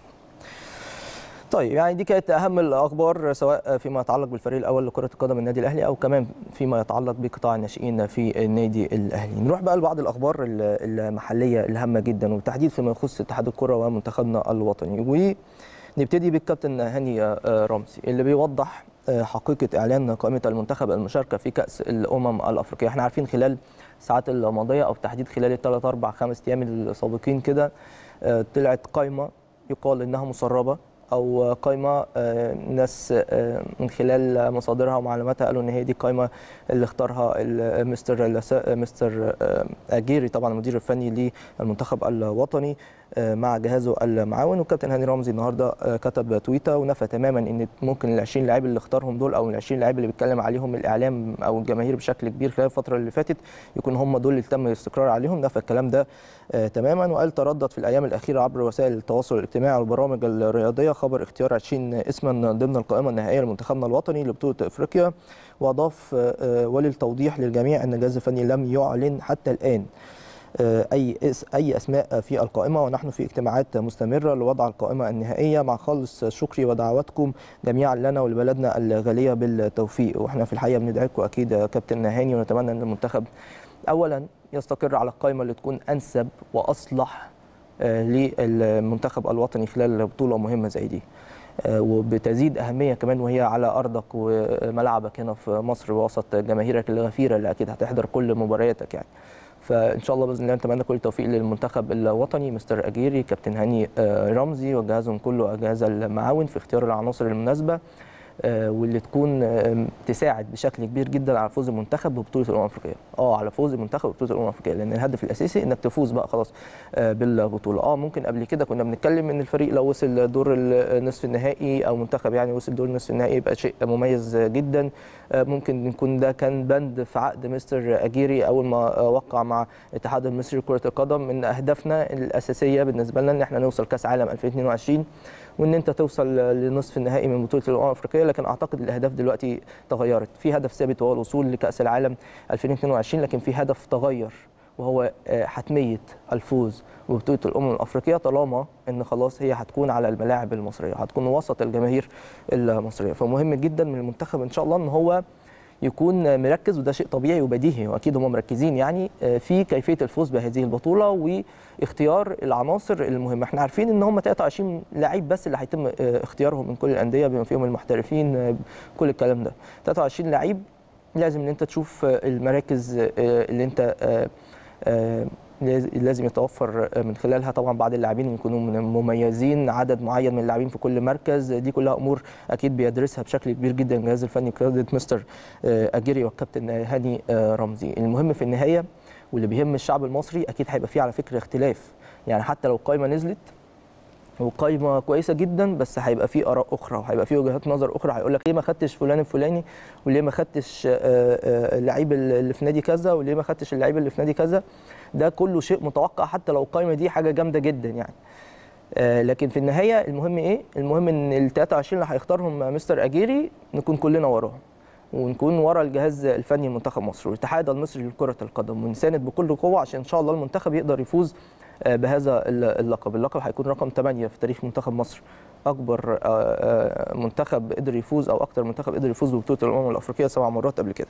إن شاء الله نتمنى السنة دي تكون المرة رقم 8 إحنا عارفين إن إحنا معانا في المجموعة طبعا زيمبابوي وأوغندا والكونغو الديمقراطية. دي المجموعه الأولى لمنتخب مصر. إحنا عارفين مباريات المنتخب هتكون على استاد القاهرة الدولي. البطولة هتبتدي إن شاء الله يوم 21 يونيو. إن شاء الله وتخلص يوم 19 يوليو بإذن الله. بطولة على مدار شهر. وأول مرة تكون من خلال 24 منتخب. وإن شاء الله نتمنى كمان التنظيم يكون رائع من قبل الاتحاد المصري واللجنة المنظمة للبطولة وكل من له علاقة بتنظيم بطولة الأمم الأفريقية في مصر إن شاء الله بإذن الله نتمنى له كل التوفيق عشان يظهر التنظيم بشكل جيد جدا وتظهر البطولة بشكل رائع. والأهم كلنا بالنسبة لنا هو الفوز بالبطولة بإذن الله بإذن الله. ولو فزت بالبطولة هو ده اللي هينجح كل شيء على فكرة. تكسب البطولة هتلاقي إيجابيات كتيرة جدا بتظهر. هتخسر البطولة وممكن هتلاقي بعض السلبيات اللي ممكن تكون بتظهر. فكله في أقدام لاعبي منتخب مصر. الانطباع العام على البطولة بشكل كامل بالنسبة للمصريين بالتحديد هيكون من خلال أقدام لاعبي منتخب مصر اللي أكيد بنتمنى لهم كل التوفيق. طيب في جزئية بقى مهمة جدا وهي خاصة بميعاد انتهاء بطولة الدوري المصري. إحنا عارفين إن البطولة ملهاش ميعاد حتى الآن للانتهاء. وده بالتحديد بعد ما نادي الزمالك وفق وإحنا أكيد بنبارك لنادي الزمالك وجمهوره في الوصول للمباراة النهائية من بطولة الكونفدرالية. وأكيد كمان بنتمنى لهم كل التوفيق في الفوز بهذه البطولة عشان يبقى النادي المصري الثاني بعد النادي الأهلي اللي قدر يفوز بهذا اللقب. وإحنا عارفين لغاية دلوقتي النادي الأهلي هو النادي الوحيد اللي قدر يفوز ببطولة الكونفدرالية الأفريقية. نتمنى النادي الزمالك كمان يوفق في هذه البطولة. لكن عموما يعني ما فيش ميعاد محدد لانتهاء بطولة الدوري بسبب وصول نادي الزمالك لنهائي هذه البطولة. كان من المفترض لا قدر الله لو كان خرج نادي الزمالك كانت البطولة هتخلص قبل بطولة الأمم الأفريقية. بالتحديد هتخلص يوم 2 أو 3 يونيو يعني. لكن بعد تأهل نادي الزمالك للنهائي ففي كلام كتير عن إن البطولة في بعض المباريات هتتبقى لما بعد بطولة الأمم الأفريقية لما تخلص. ففي 10 أندية من الدوري المصري بتطلب من اتحاد الكرة إنهاء الدوري قبل كأس الأمم الأفريقية. ما أعرفش الطلب ده هيتم استقباله إزاي من الاتحاد المصري أو هيتم التعامل معاه إزاي لكن هو في الحقيقة العشر أندية دول بيتكلموا في بعض الأمور الهامة جدا جدا. وبعض النقاط اللي ممكن تكون بتخص كل الأندية بشكل عام مش العشره دول بس يعني. وبيقولوا إن رؤساء الأندية اتكلموا على إن لازم يكون في تكافؤ للفرص. تكافؤ الفرص ده هيكون إزاي؟ إن أنت لازم تنهي المسابقة قبل بطولة الأمم الأفريقية. ليه؟ لأن أنت لو استمريت لما بعد بطولة الأمم الأفريقية لسه في بعض المباريات في بطولة الدوري المصري ده هيكلف الأندية مبالغ معينة. هيكلف الأندية بعض المعسكرات وتدريبات للفريق ومرتبات للفرق. وكل دي أمور ممكن بعض الأندية ما تقدرش إن هي تتحملها بشكل كبير. فبالتالي في طلبات مهمة أو طلبات أساسية من 10 أندية بالتحديد إن هم الاتحاد المصري يجد حل لإنهاء بطولة الدوري قبل انطلاق بطولة الأمم الأفريقية. هيتم التعامل مع الملف ده إزاي؟ مش عارفين. بس إن شاء الله نتمنى إن هم يختاروا القرار الأصلح ل الدوري المصري والأندية المصرية بشكل عام دون التطرق خالص لنادي الزمالك. يعني نادي الزمالك أكيد إحنا كلنا بندعمه وبنتمنى له كل التوفيق كنادي مصري في بطولة الكونفدرالية. لكن هي قضية معينة بتخص عدد من الأندية اللي اتكلموا في هذا الموضوع واللي طلبوا من الاتحاد المصري لكرة القدم إنهاء بطولة الدوري قبل بطولة الأمم الأفريقية. هنشوف الدنيا هتمشي إزاي بخصوص هذا الملف. طيب نروح لخبر آخر وهو خاص ب محمد صلاح. وإحنا عارفين محمد صلاح خلال الفترة اللي فاتت خلاص أول امبارح كان آخر مباراة في بطولة الدوري الإنجليزي أمام وولفرهامبتون وخلصت بفوز ليفربول 2-0 لكن الفوز ده ما شفعش ليفربول إن هم يفوزوا ببطولة الدوري لأن مانشستر سيتي فازوا 4-1 على برايتون. شفنا دقيقة كانت مثيرة قوي في الحقيقة الدقيقة اللي برايتون تقدم فيها على مانشستر سيتي اللي كان بيتابع مباراة ليفربول شاف تفاعل الجماهير مع هدف برايتون لكن ما فيش دقيقة بالظبط أو حوالي 80 ثانية بالظبط واجويرو جاب هدف التعادل فالأمور هديت تاني في الأنفيلد يعني. لكن عموما مانشستر سيتي كسبت فرق نقطة عن ليفربول. هم اللي تصدروا بطولة الدوري هم اللي فازوا بهذا اللقب وده ما منعش خالص جمهور ليفربول من الاحتفال بهذا الموسم الرائع بالنسبة لليفربول كانوا بينافسوا لغاية آخر جولة في بطولة الدوري الإنجليزي وكمان وصلوا لنهائي ال Champions League المباراة اللي هتكون يوم واحد من أول الشهر القادم أمام توتنهام الفريق الإنجليزي الآخر. هتكون مباراة صعبة جدا. بالتالي فيما يتعلق بمحمد صلاح يعتبر الموسم كان ناجح جدا. ليه؟ لأنه جايب 22 هدف. مش بس 22 هدف الراجل عمل 8 assist فمساهم بحوالي 30 هدف من الأهداف في هذا الموسم بالنسبة لفريق ليفربول. فالفيفا تفاعل شوية مع هدف بقى مش محمد صلاح هدف مكه محمد صلاح ابنه محمد صلاح واللي بعد المباراة. زي الموسم الماضي كده نزلت طبعا أرضية الملعب وجريت بالكورة وحطت الكورة جوه الجون. جمهور الأنفيلد تفاعل معها جدا ويعني كان مبسوط جدا بالمظهر والهدف اللي جابته مكة. وكان مظهر في الحقيقة حضاري مظهر جميل جدا جدا. ونفسي نستفاد من الثقافة اللي إحنا بنشوفها في الدوري الإنجليزي أو في أوروبا بشكل عام. لازم يكون في الثقافه دي. الجماهير فضلت قاعدة لغاية لما اللاعبين روحوا فضلوا يحتفلوا بيهم يحتفلوا بال فازوا بال Golden Boot سواء محمد صلاح أو ساديو ماني 22 هدف لكل واحد. أفضل حارس في الدوري الإنجليزي اللي هو طبعا أليسون طبعا الحارس البرازيلي 21 clean sheet بعديه كان ادرسون حارس مانشستر سيتي 20 clean sheet فبالتالي دي كلها أمور مميزة جدا. ومعانا لقطات للهدف أو للقطة مكة يا جماعة يا ريت نزحها يعني. فبالتالي اهي معانا. معانا هي ماسكة الكورة وبتلعب. يعني الناس كتير جدا أو الصحف العالمية كلها علقت على هذا أو هذه اللقطات الخاصة بمكة محمد صلاح المواقع العالمية بشكل عام. وفي الحقيقة هم بيركزوا على بعض الجوانب اللي بتكون مهمة جدا يعني. ف يعني ده شيء كويس. وقالوا إن موقع الفيفا قال إن الهدف بتاع مكة يعتبر هدف الموسم يعني بشكل يعني مضحك شوية. دي لقطات على فكرة من الموسم اللي فات مش بتاعه الموسم ده يعني. لكن المهم يعني لقطات مكررة وأكيد لقطات مهمة جدا. بخلاف بقى مكة محمد صلاح أنا نفسي نستفاد من الثقافة اللي بنشوفها من جمهور ليفربول. مش بس جمهور ليفربول الجماهير في أوروبا بشكل عام. الدوري الإنجليزي يا جماعة خلص فرق نقطة لصالح مانشستر سيتي. ما شفناش مدير فني طلع اتكلم قال لك التحكيم شفناش مدير فني طلع قال لك لا في فريق استفاد على حساب فريق آخر بسبب الحكام ومشاكل وخناقات والكلام اللي إحنا بنشوفه في الدوري المصري في الحقيقة يعني. نفسي إن إحنا نحاول نستفاد من ال ال الأمور اللي إحنا بنشوفها في أوروبا. حاجات في الحقيقة رائعة ولازم كلنا يبقى عندنا الثقافة دي. لازم يكون في غالب ومغلوب. آه لازم يكون في يوم انت موفق فيه يوم انت مش موفق فيه خالص. آه يعني كلها أمور في كرة القدم. هي كرة قدم يا جماعة. لازم تكسب ولازم تخسر. إحنا عندنا في النادي الأهلي الثقافة طبعا إن إحنا لازم نكسب كل المباريات وهتفضل الثقافة دي في الحقيقة موجودة. ليه؟ لأن جمهور النادي الأهلي اتعود على كده. فمش هيبقى في تنازل من هذه الثقافة. لكن بنتكلم بشكل عام للأجيال القادمة.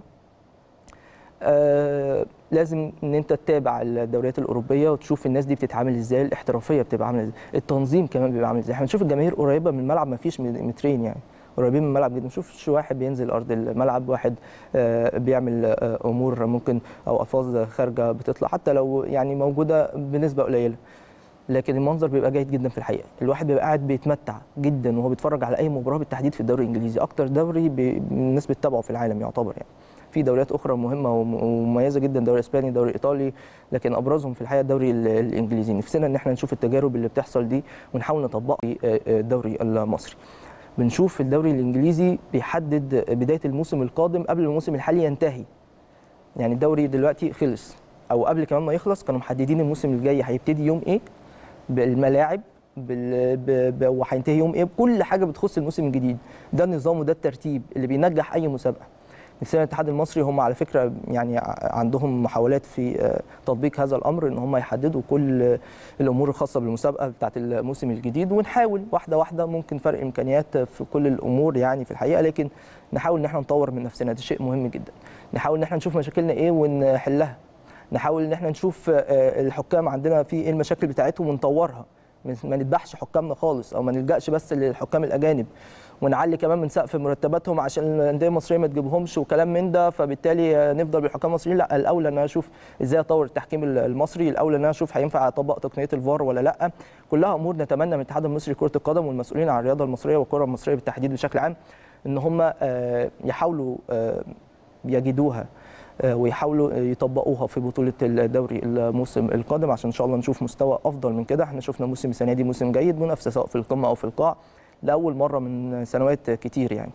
فنتمنى إن يكون في تطوير أكتر للمسابقة تطوير أكتر للأندية تطوير أكتر لكل حاجة بتتعلق ببطولة الدوري المصري في الحقيقة لأن يعتبر دي وسيلة ترفيهية مهمة جدا للشعب المصري. نتمنى إن هي تظهر بالشكل المميز. طيب بالنسبة لمباراة نهائي دوري أبطال أوروبا خلاص الاتحاد الأوروبي أعلن إن السلوفيني سكومينا سكومينا هو هيكون الحكم لنهائي دوري أبطال أوروبا. حكم دولي من من سنة 2002 وعنده 42 سنة. وحكم قبل كده مباراة نهائي الدوري الأوروبي ما بين أياكس أمستردام الهولندي ومانشستر يونايتد الإنجليزي. ده في 2017 اللي فاز بيها مانشستر يونايتد. كمان أدار سكومينا مباراة كأس السوبر الأوروبي في 2012 بين تشيلسي وأتلتيكو مدريد حكم أكيد جيد ومميز جدا ودول من الحكام الصفوه أكيد في أوروبا. اللي إحنا ما بنشوفهمش خالص في مصر. هو شيء شيء يذكر بصراحة. يعني كل الحكام اللي أنا بشوفهم أو أنا وإحنا بنتابع كده يا جماعة مباريات دوري أبطال أوروبا أو حتى مباريات الدوري الإنجليزي مباريات الدوري الإسباني الكلام من ده الحكام الوشوش اللي إحنا بنشوفها دي ما بتجيش الدوري المصري. إحنا بنجيب ناس تانية فئة تانية أو تصنيف تاني وتصنيف تالت للأسف رغم المبالغ اللي بتدفع كتير في الحقيقة للحكام يعني. لكن عموما يعني الحكم ده أكيد حكم مميز وأكيد هنشوف مباراة قوية جدا وأكيد معظم المصريين المفروض كلهم يعني بيتمنوا فوز محمد صلاح وليفربول ببطولة الدوري أبطال أوروبا. نتمنى نتمنى هيكون أول لاعب مصري يفوز ببطولة دوري أبطال أوروبا. وبالمناسبة إحنا ما عندناش محمد صلاح بس اللي بيمثل مصر في نهائي ال Champions League أو نهائي بطولة دوري أبطال أوروبا اللي إحنا عندنا كمان محمد النني اللي ما فيش تركيز شوية معاه للأسف يعني بسبب تألق محمد صلاح. لكن النني حتى لو ما بيلعبش ممثل مصري في النهائي الدوري الأوروبي. مباراة أرسنال وتشيلسي. أكيد كمصريين نتمنى فوز أرسنال وأكيد نتمنى فوز ليفربول.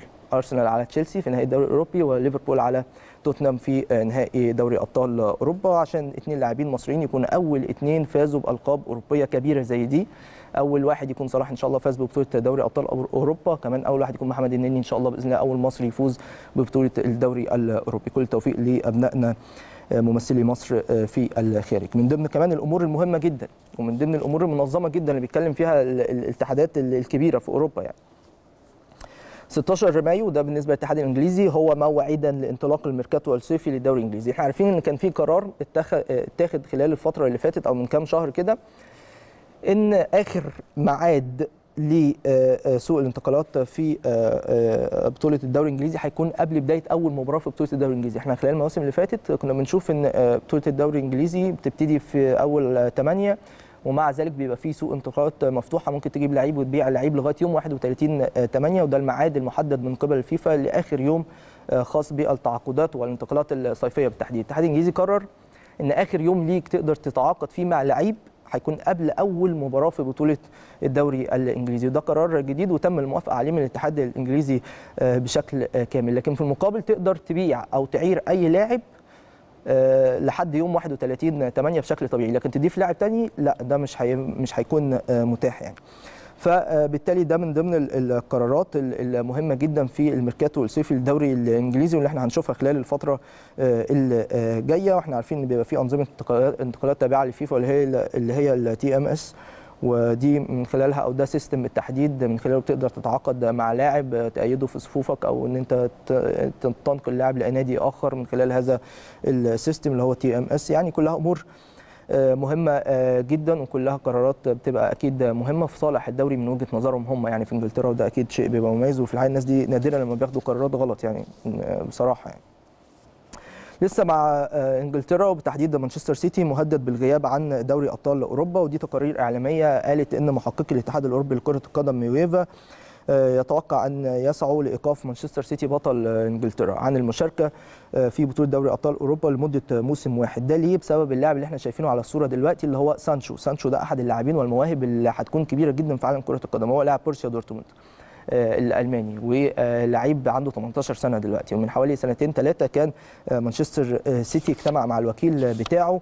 وعلى حسب يعني الكلام اللي يقال إن هو تم دفع 200 ألف جنيه استرليني حوالي 260 ألف دولار لوكيل الجناح الإنجليزي صاعد سانشو. عندما كان في الرابعه عشر من عمره يعني حوالي أربع سنين. وهو دلوقتي زي ما إحنا عارفين أو زي ما قلت لكم هو متواجد في فريق بورسيا دورتموند الألماني وفي الحقيقة بيتألق واحد العناصر اللي هتكون مميزة كمان للمنتخب الإنجليزي يعني. فبالتالي شايفين إن ده خرق يعني للنظام وشيء يعني المفروض ما يكونش موجود من الأندية بشكل عام. إن أنت ما يعني ما تكونش بتحاول إنك تتعاقد مع اللاعبين بشكل صحيح أو إن أنت ما, ما, ما تخرجش هذا النظام. ده شيء مهم جدا. وهناك الناس ما بتهزرش يا جماعة بصراحة. أي خرق للوائح بتبقى عقوبة على طول. أي خرق للأنظمة والاتفاقات والكلام من ده ده بيبقى برضو عقوبه على طول. فهم في احتمال إن مانشستر سيتي يتم استبعاده لمدة موسم عن بطولة ال Champions League وده هيكون شيء مؤسف بالنسبة لجمهور مانشستر سيتي اللي بيأمل إن هو يفوز بالبطولة في يوم من الأيام يعني. ناس صرفت كتير جدا جابت لاعبين كتير جابت جوارديولا نفسه يعني لغاية دلوقتي ما كسبوش بطولة دوري أبطال أوروبا يعني. طيب ده فيما يتعلق بإنجلترا. بالنسبة لإيطاليا دي روسي النهارده بيرحل عن روما بعد 18 عام قضاهم مع روما طبعا. يعني لعيب كبير جدا ونجم كبير جدا دانيال دي روسي نجم وسط روما ونجم وسط المنتخب الإيطالي. والإدارة بلغته بشكل رسمي إن هو مش هيكون في خطط النادي للموسم الجديد. وهو وصل لسن خلاص 35 سنة. وهو كان بيتوقع لحد كلامه يعني إن كان بيتوقع عدم تجديد عقده وكان شايف إن خلاص ده الوقت اللي ممكن إن هو يرحل فيه عن فريق روما. دي روسي يعني خاض مباريات كثيره جدا 614 مباراة مع روما ليكون ثاني أكثر اللاعبين مشاركة مع الفريق بعد نجم هجوم روما السابق طبعا فرانشيسكو توتي اللي خاض 786 مباراة قبل اعتزاله في 2017 رئيس نادي آه، آه، روما اللي هو جيمس بالوتا قال في بيان لمدة 18 عام كان دانييلي آه، بمثابة القلب النابض لفريق روما. خاض دي روسي 117 مباراة ضمن صفوف المنتخب الإيطالي وتوج معه بكأس العالم اغلى بطوله أكيد 2006 وكلنا أكيد فاكرينها وكسب مع روما بالتحديد بطولتين بس هم كأس إيطاليا عام 2007 و2008 أعتقد خد السوبر كمان يعني أعتقد خد السوبر الإيطالي مع روما يعني لكن لعيب طبعا كبير ولعيب تاريخي بالنسبة لصفوف روما ومنتخب الإيطالي النهارده بيرحل بشكل رسمي عن فريق روما الإيطالي. طيب آخر خبر معانا بقى من إيطاليا نروح لألمانيا وهو خاص بروبن روبن النجم الهولندي الكبير أريان روبن طبعا نجم فريق بايرن ميونخ واللي كان غايب بقاله فترة كبيرة جدا لمدة خمس شهور. خلال الأسبوعين اللي جايين روبن هيقرر آه، طبعا مسيرته هيكون مصيرها إيه؟ بعد ما خلاص أعلن بشكل رسمي إن هو مش هيكون متواجد مع فريق بايرن ميونخ خلال الموسم القادم. وده بالاتفاق طبعا بعد نهاية عقده مع فريق آه، بايرن ميونخ وبعد مسيرة من 2009 لما راح من ريال مدريد لبايرن ميونخ لحد دلوقتي. إحنا في 2019 مسيرة كبيرة وحافلة آه، من روبن مع فريق بايرن ميونخ ومليئة بالألقاب في الحقيقة والبطولات الهامة جدا. النهارده خلاص تقرر ان هو مش هيكون متواجد السنة الجاية أو القرار متاخد بقاله فترة يعني إن هو مش هيكون متواجد السنة الجاية مع بايرن ميونخ لكن القرار اللي هو بيدرسه لسه وهو خاص بمسيرته الكروية. هل هتستكمل في نادي آخر أم هيعتزل آه، آه، لعبة كرة القدم تماما؟ ده قرار لسه بيدرسه طبعا أريان روبن نجم الهولندي الشهير ونجم ريال مدريد السابق وتشيلسي وبايرن ميونخ. وهو خلاص عنده كمان هو كمان 35 سنة لكن لعيب كبير قوي في الحقيقة. أي كرة على شماله بتبقى جون. أي كرة على شماله من ناحية اليمين كده بتعتبرها جون بنسبة 95% يعني. نتمنى له كل التوفيق إن شاء الله سواء هيستكمل مسيرته أو هيعتزل لعبة كرة القدم. طيب يعني دي كلها كانت أخبار مهمة جدا في بداية حلقة الأهلي الليلة النهارده. اتكلمنا في كل ما يخص النادي الأهلي. سواء الفريق الأول أو قطاع الناشئين بالنادي. الأهلي كمان اتكلمنا وتطرقنا لبعض الأخبار المحلية وكمان بعض الأخبار العالمية الهامة جدا. الحلقة لسه ما خلصتش لسه مستمرين معاكم لساعة آه، كمان. الفقرة الجاية هتكون فقرة مهمة جدا جدا مع نجم كبير من نجوم النادي الأهلي السابقين وهو الكابتن أحمد كشري عشان نتكلم معاه في العديد والعديد من الأمور اللي بتخص الدوري المصري بشكل عام وبالتحديد فيما يتعلق بالفريق الأول لكرة القدم من النادي الأهلي خلال آه، الفترة الحالية. استنونا بعد الفاصل مع الكابتن أحمد كشري.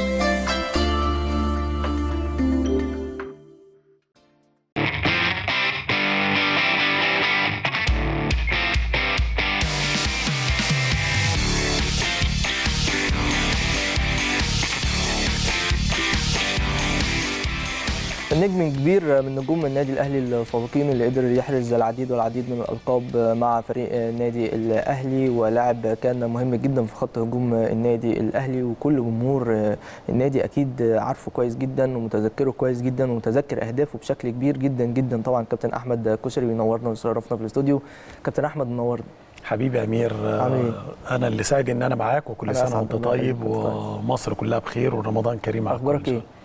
الحمد لله كويس كويس تقيم تجربة الترسانة إزاي؟ أنا عارف خلاص إن أنت ترك- تركت تدريب نادي الترسانة تقييمك لهذه التجربة من وجهة نظرك. والله آه، تجربة الترسانة الحمد لله بالنسبة لي تجربة مهمة مم. ومن أهم التجارب ليا في حياتي لأن آه، من أهم التجارب.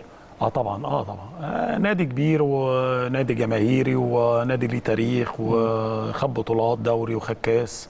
فأكيد آه آه، حجم النادي وحجم التجربة الحمد لله تجربة كانت آه مهمة وكانت آه يعني قاب قوسين أو ادنى إن هي تكلل بنجاح خاصة إن إحنا كنا فريق مميز جدا آه، في النتائج بتاعتنا في في في أسلوب لعبنا. كانت فرقة بتلعب كرة هجومية كويسة قوي آه، بنوصل للجون أكتر من أي فريق آه، في المجموعة بتاعتنا أو المجموعه الثانية. أقوى خط دفاع على مستوى الثلاث مجاميع. آه، تاني أقوى خط هجوم. آه، كان الفريق فيه مزيج من الشباب والخبرة. آه، لا عملنا موسم كويس قوي. ويعني أنا شايف إن عدم التوفيق آه، ما كانش في توفيق معانا في في المباريات الأخيرة. وخاصة المباريات الأخيرة دي مباراة اللعيبة. اللعيبة. آه يعني لما توصل لمرحلة إن أنت خلاص بتلعب آخر 3 4 ماتشات عشان تصعد آه، هنا بيبان بقى نوعية. اللاعب وشخصية اللاعب في الملعب. وبيستحمل الضغوطات ولا لأ.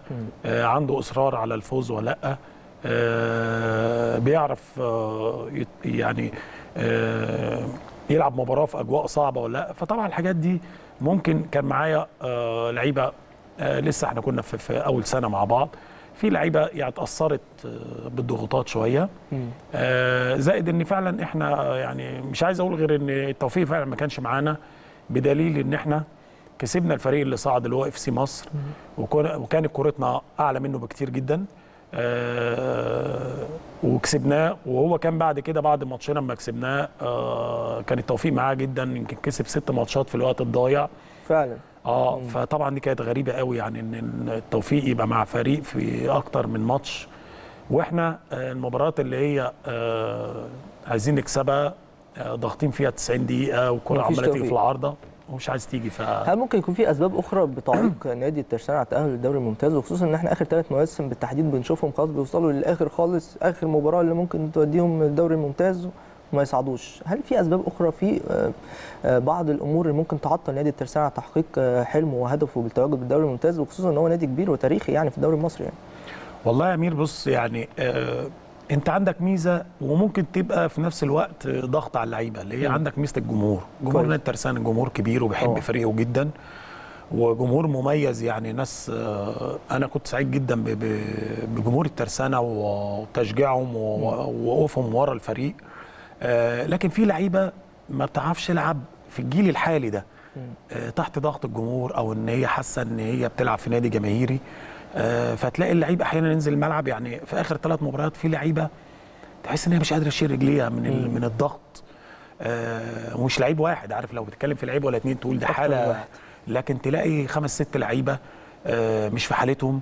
آه، إحنا متسيدين اللقاء زي ماتش النصر الأخراني حاطينهم 90 دقيقة في ال 18 آه، اللعيبة آه، خايفة آه، مضغوطة. آه، نفس الحكاية في مباراة القناة بلاعب فريق قناة فريق كبير وفريق إمكانياته أعلى مننا المادية. آه، 90 دقيقة إحنا مسيطرين على المباراة. آه، من أول ثلاث دقائق كورتين في العارضة وانفرادات والشوط الثاني مضيعين أكتر من واحدة.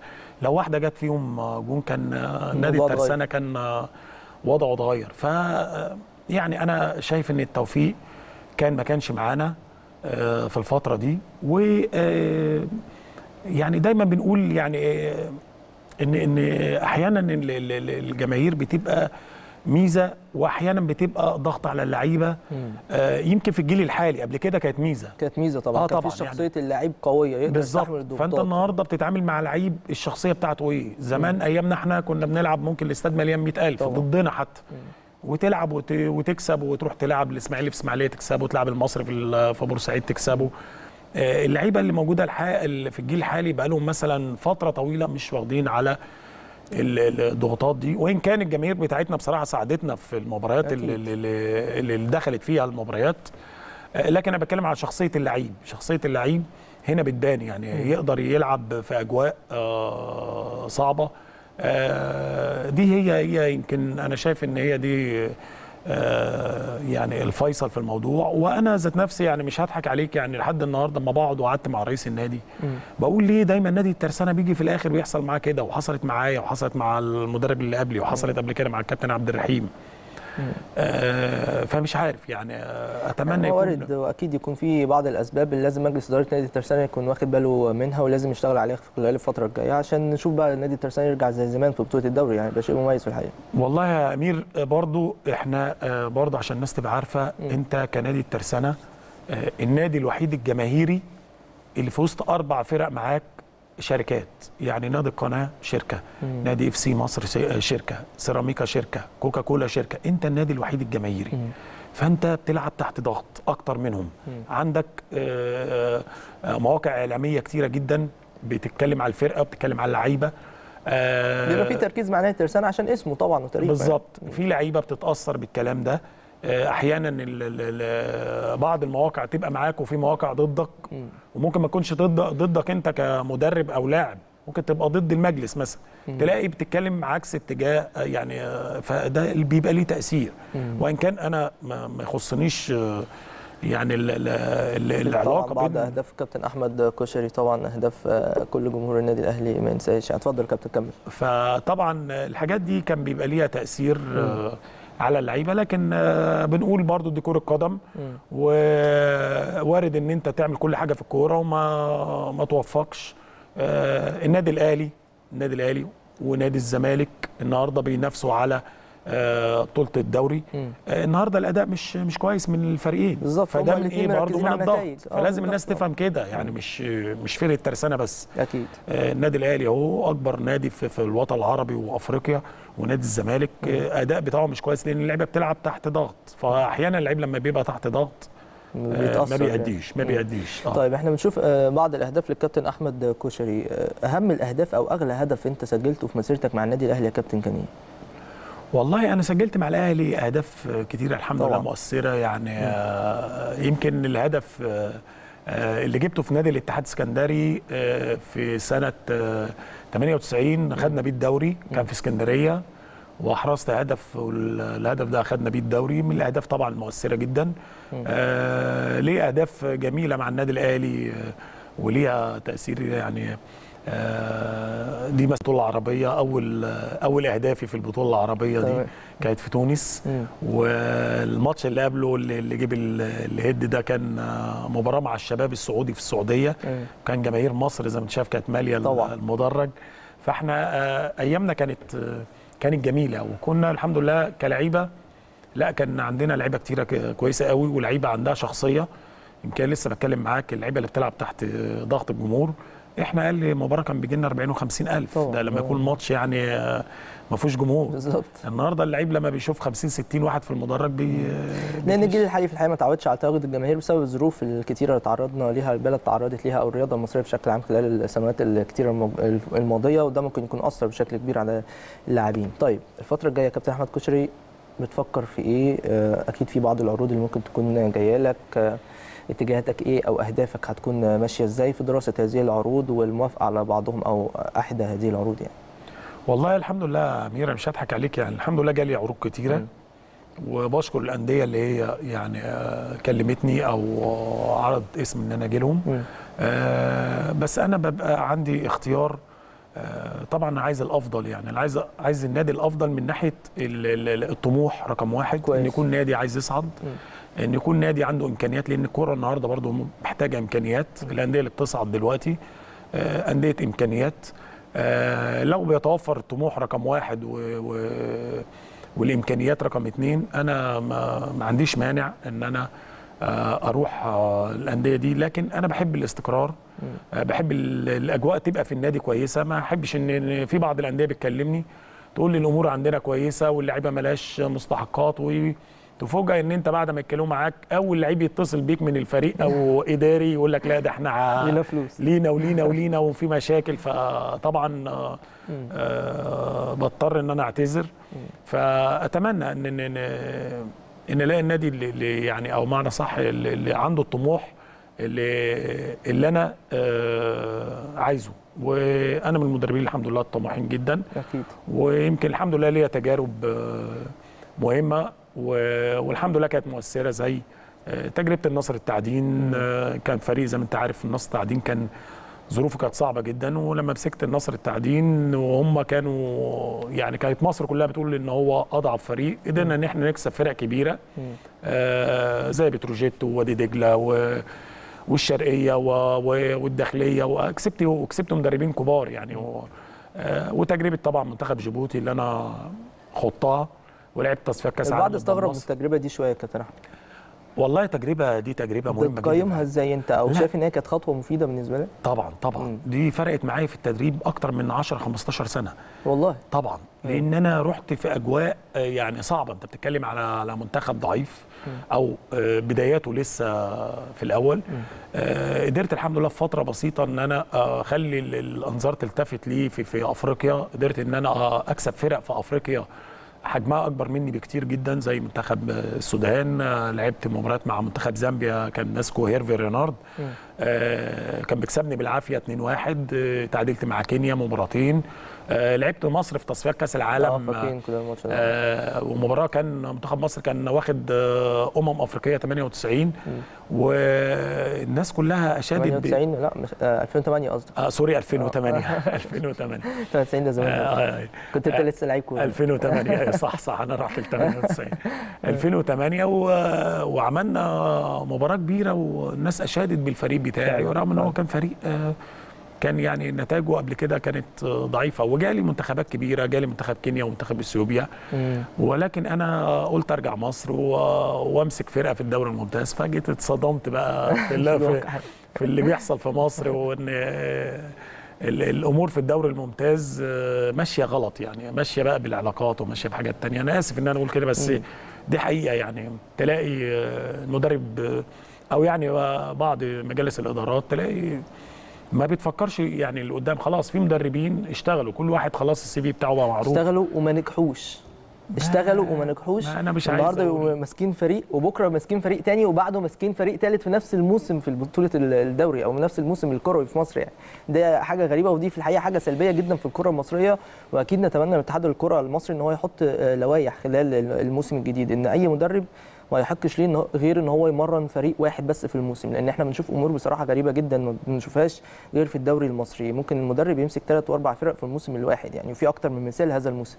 فده بيبقى شيء سلبي ومش في صالح الكرة المصرية اطلاقا يعني. أكيد تتفق معايا. والله طبعا يا أمير أنا يعني أنا بستغرب زي زي الناس يعني. مدربين كتير بنقعد مع بعض اللي يعني ما تعرفش إيه المقياس يعني. النهارده أنت كمدرب بتاخد مدرب عندك. ممكن يكون ما نجحش مع الفريق أو المناخ اللي موجود ده مش مناسب ليه. تلاقيه راح حتة تانية ومسك نادي أكبر ويبقى ماسك نادي أصغر يروح للأكبر والأكبر ويفضل الحلقة بتدور حوالين ناس معينة. أسماء معينة. في حين إن الأجيال اللي, اللي- طالعة أجيال كويسة جدا. يعني النهارده شوف آه، أنت بتتكلم مثلا شوف اياد جلال مدرب عامل. إزاي؟ شوف عماد النحاس آه، عودة آه، يعني المدربين الشباب اللي, اللي طلعوا عملوا آه، يعني عملوا نتائج كويسة جدا. ليه؟ لأن إحنا عاصرنا مدربين أجانب. اخذنا دورات تدريبية متقدمة طبعا. مع خبراء ألمان مثلا وإنجليز و... الناس دي ما عاشتش الكلام ده اللي قبلنا. مم. فبالتالي أنت عندك آه عندك دراية وعندك خبرات آه أو عندك الحديث في كرة القدم في التدريب. بالظبط. أنا من المدربين اللي ما بسيبش حاجة آه دورات تدريبية إلا لما أروح أخدها وحتى لو أستفاد معلومة صغيرة. لأن كل يوم طول ما إحنا عايشين طول ما إحنا بنتعلم وكل تجربة بتفرق معاك. آه لكن الأمور في مصر آه مختلفة يعني آه بصراحة غريبة. ويمكن ده اللي خلاني انزل امسك في الممتاز بيه. أنا كنت ممكن اقعد واقول لا أنا همسك في الدوري الممتاز رغم ان أنا تجربتي نجحت 100% مع النصر التعدين فعلا، أكتر من مدربين في في موجودين وكانوا ماسكين فرق كبيرة. بدليل إن أنا مسكت النصر التعدين يعني بعد 23 ماتش كان عندهم 9 بونت. آه، أول ست مباريات ليا أنا كسبان أربعة وكسبان مين؟ وادي دجلة كان معاهم أحمد حسام بيدو. طبعا. كسبان بتروجيت الكابتن حسن شحاتة في ملعبه. كسبان آه، الداخلية في الداخلية آه، كابتن أشرف قاسم. كسبان آه، الشرقية كابتن عماد النحاس. كسبان جيش. كسبان مكيدة الاتحاد 2-0 كز- كسبان فرق كبيرة جدا. حجم ال- الفوارق بيني وبينهم في كبيرة كبيرة في. لعيبة وإمكانيات و و و وتاريخ ف ومع ذلك آه، الأمور آه، ما أعرفش يعني آه، في حاجة غير طبيعية موجودة هنا في مصر بيقاس عليها ال- ال- المدرب. يعني ده في الحقيقة شيء سلبي نتمنى إن الكرة المصرية تتخلص منه خلال المواسم المقبلة بالتحديد وأكيد نتمنى لك كل التوفيق في مسيرتك المقبلة كمدرب إن شاء الله كابتن كشري. لكن خلينا بقى نتكلم عن بطولة الدوري المصري هذا الموسم ورؤيتك التحليلية للبطولة بشكل عام. رأيك إيه في في الموسم الكروي في مصر بالتحديد فيما يتعلق ببطولة الدوري الممتاز؟ هل شايف إن البطولة فنيا كويسة؟ آه، فيها إثارة فيها مستويات آه، مرتفعة مثلا عن المواسم المقبلة؟ رؤيتك بشكل عام وتقييمك لبطولة الدوري هذا الموسم؟ والله بص هو الدوري في إثارة آه موجودة إثارة دلوقتي في الدوري يمكن عشان ال- الفوارق بقت قريبة قوي. تمام. لكن آه، فنيا لا الدوري السنة دي فنيا أنا مش شايف إن النادي الأهلي بيقدم الأداء بتاع النادي الأهلي وده غصب عن اللعيبة وال والجهاز الفني أو الأجهزة اللي مسكت النادي الأهلي لأن النادي الأهلي آه، بدأ الموسم ببطولة أفريقيا واتضغط في المباريات بتاعة بطولة أفريقيا مع الدوري. فالأهلي كان مظلوم جدا في في بداياته. يعني الأهلي كان بيلعب مباراة كل تقريبا ثلاث ثلاث أيام بيلعب مباراة أو أربع أيام. آه، فبالتالي بدأ يحصل إصابات كثيره للعيبة. آه، بدأ النادي الأهلي يتعطل في في مسيرته في الأول في الدوري. آه، الزمالك لعب ماتشات أكتر ففرق عن النادي الأهلي. فبدأ يلعب مبارياته وهو مضغوط. لما النادي الأهلي آه، خرج من بطولة أفريقيا بدأ ال- ال- ال- النتائج في الدوري تتحسن. واللعيبة ترجع فالأهلي هو اللي فرق وبدأ الزمالك هو اللي اللي, ضغط الفترة الأخيرة. فعدم انتظام الدوري من البداية وعدم وضع جدول آه، منظم للدوري من البداية للنهاية أثر على الأداء الفني للاعبين وضغط آه، فريق النادي الأهلي. فبالتالي النادي الأهلي آه، في مباريات كتيرة ما قدمش فيها المستوى الفني العالي وده آه، أنا كمدرب أعذر فيها اللاعبين والجهاز الفني خاصة إن في إصابات كتيرة جدا عند النادي الأهلي مش متواجدة في أي فرقة. آه، لكن آه، الدوري فيه إثارة آه فيه إثارة. لأن الدوري لحد دلوقتي آه، ما تحددش مين البطل. كويس. وإن كان طبعا آه، النادي الأهلي أقرب ليها ودي من من خبراتنا ومن عارفين النادي الأهلي. أقرب من أنهي جانب بالظبط يا كابتن؟ يعني إحنا لو شايف لو بصينا على المنافسة هنلاقي إن الزمالك عنده آه، يعني تكاد تكون نفس الفرص عند النادي الأهلي إن هو يفوز بال- بالدوري برضه. يعني الفرقتين لو كسبوا المباريات بتاعتهم أي فريق هيفوز بالمباريات بتاعته هو اللي هيفوز بالدوري لأن آخر مباراة بين أهلي وزمالك وارد جدا اللي يكسب في هذه المباراة هو اللي يفوز ببطولة الدوري. لكن هل في جوانب أخرى من خلالها حضرتك شايف إن النادي الأهلي هو اللي إن شاء الله يكون أقرب للفوز ببطولة الدوري؟ آه طبعا النادي الأهلي. آه الفترة الأخيرة دي آه في ضغوطات على اللعيبة اللعيبة ما بتأديش بشكل آه، يعني فني أو جمالي زي الفترة اللي اللي قبل كده. لكن آه الأهلي عنده لعيبة كتير آه كانت مصابة بدأت ترجع بعد اللعيبة. دي بتدي اللعيبة آه قوة خاصة في الحتة ال- الهجومية. يعني عودة وليد سليمان تفرق مع النادي الأهلي. لما رجع صلاح محسن برضه بتدي قوة لخط الهجوم.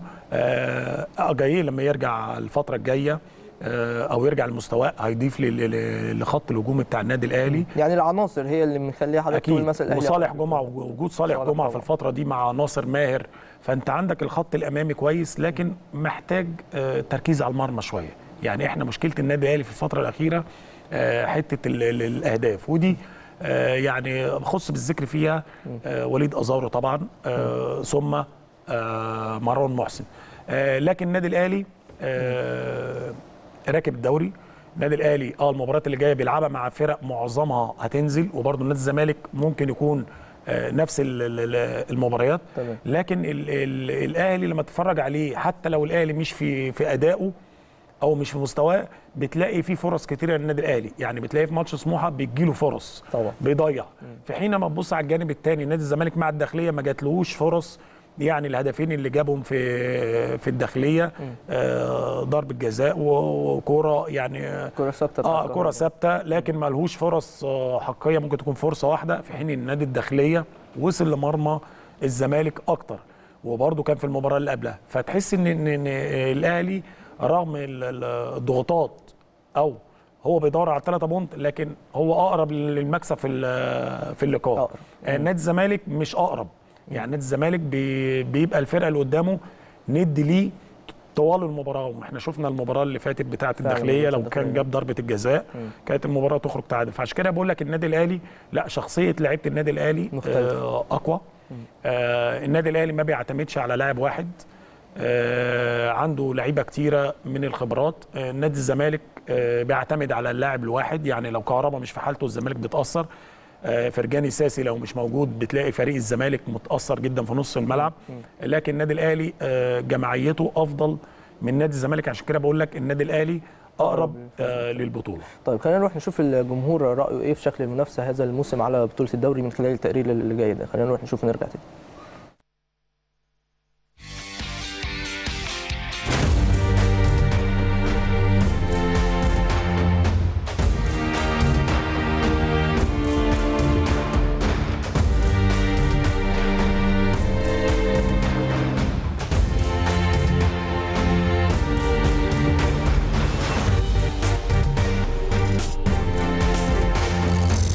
في منافسة الشكل اتغير بدل ما كانوا فرقتين بقوا ثلاث فرق. لكن كنت شايف إن الأهلي كان قدامه فرصة من بداية الموسم إن هو يبقى أفضل من كده. ضاع مننا نقط كتير يعني. وحاليا دلوقتي ما بندورش على أداء أنت بتدور على نتائج. أنا خلاص أنا في مرحلة الحسم أنا محتاج بطولة ف... فبدور على نتيجه لكن لما هتكلمني على الأداء لا مفيش أداء. وخاصة وكمان في معظم الفرق مش الأهلي بس يعني والله ال- المنافسة ما ما تتحسبش دلوقتي لسه الدوري لحد آخر ماتش بس هي مقربة يعني للأهلي لو لو تخلى آه لو كسب مبارياته.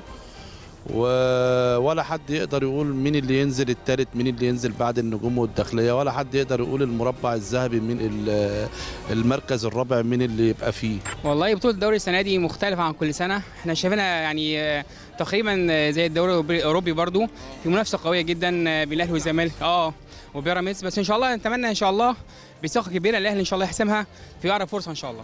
المنافسة طبعا قوية جدا والفرق اختلف فيها الأداء بالنسبة لكل ال- الفرق. في فرق طبعا اعتمدت على ال- الصرف جامد جدا زي بيراميدز وزي الزمالك برضو بيساعدوا بعض نفس الكلام. آه وبعدين بيأهلوا بعض وفي حد بي- بينافسنا طبعا كأهلي طبعا. لكن إحنا طبعا أهلي ان شاء الله فوق الجميع بإذن الله. أجمل ما فيها التنافس اللي أنت ما بتبقاش عارف الوضع إيه. حتة التباديل والتوافيق اللي موجودة ما بين الفرق دي مدية روح المنافسة العالية بين الفرق وبتخلي ال- الماتش يمكن لاخر لحظة يمكن آخر ماتش اللي فات دوت لغاية دقيقة 8 97 97 أنت ما أنتش عارف إيه النتيجة هتبقى إيه.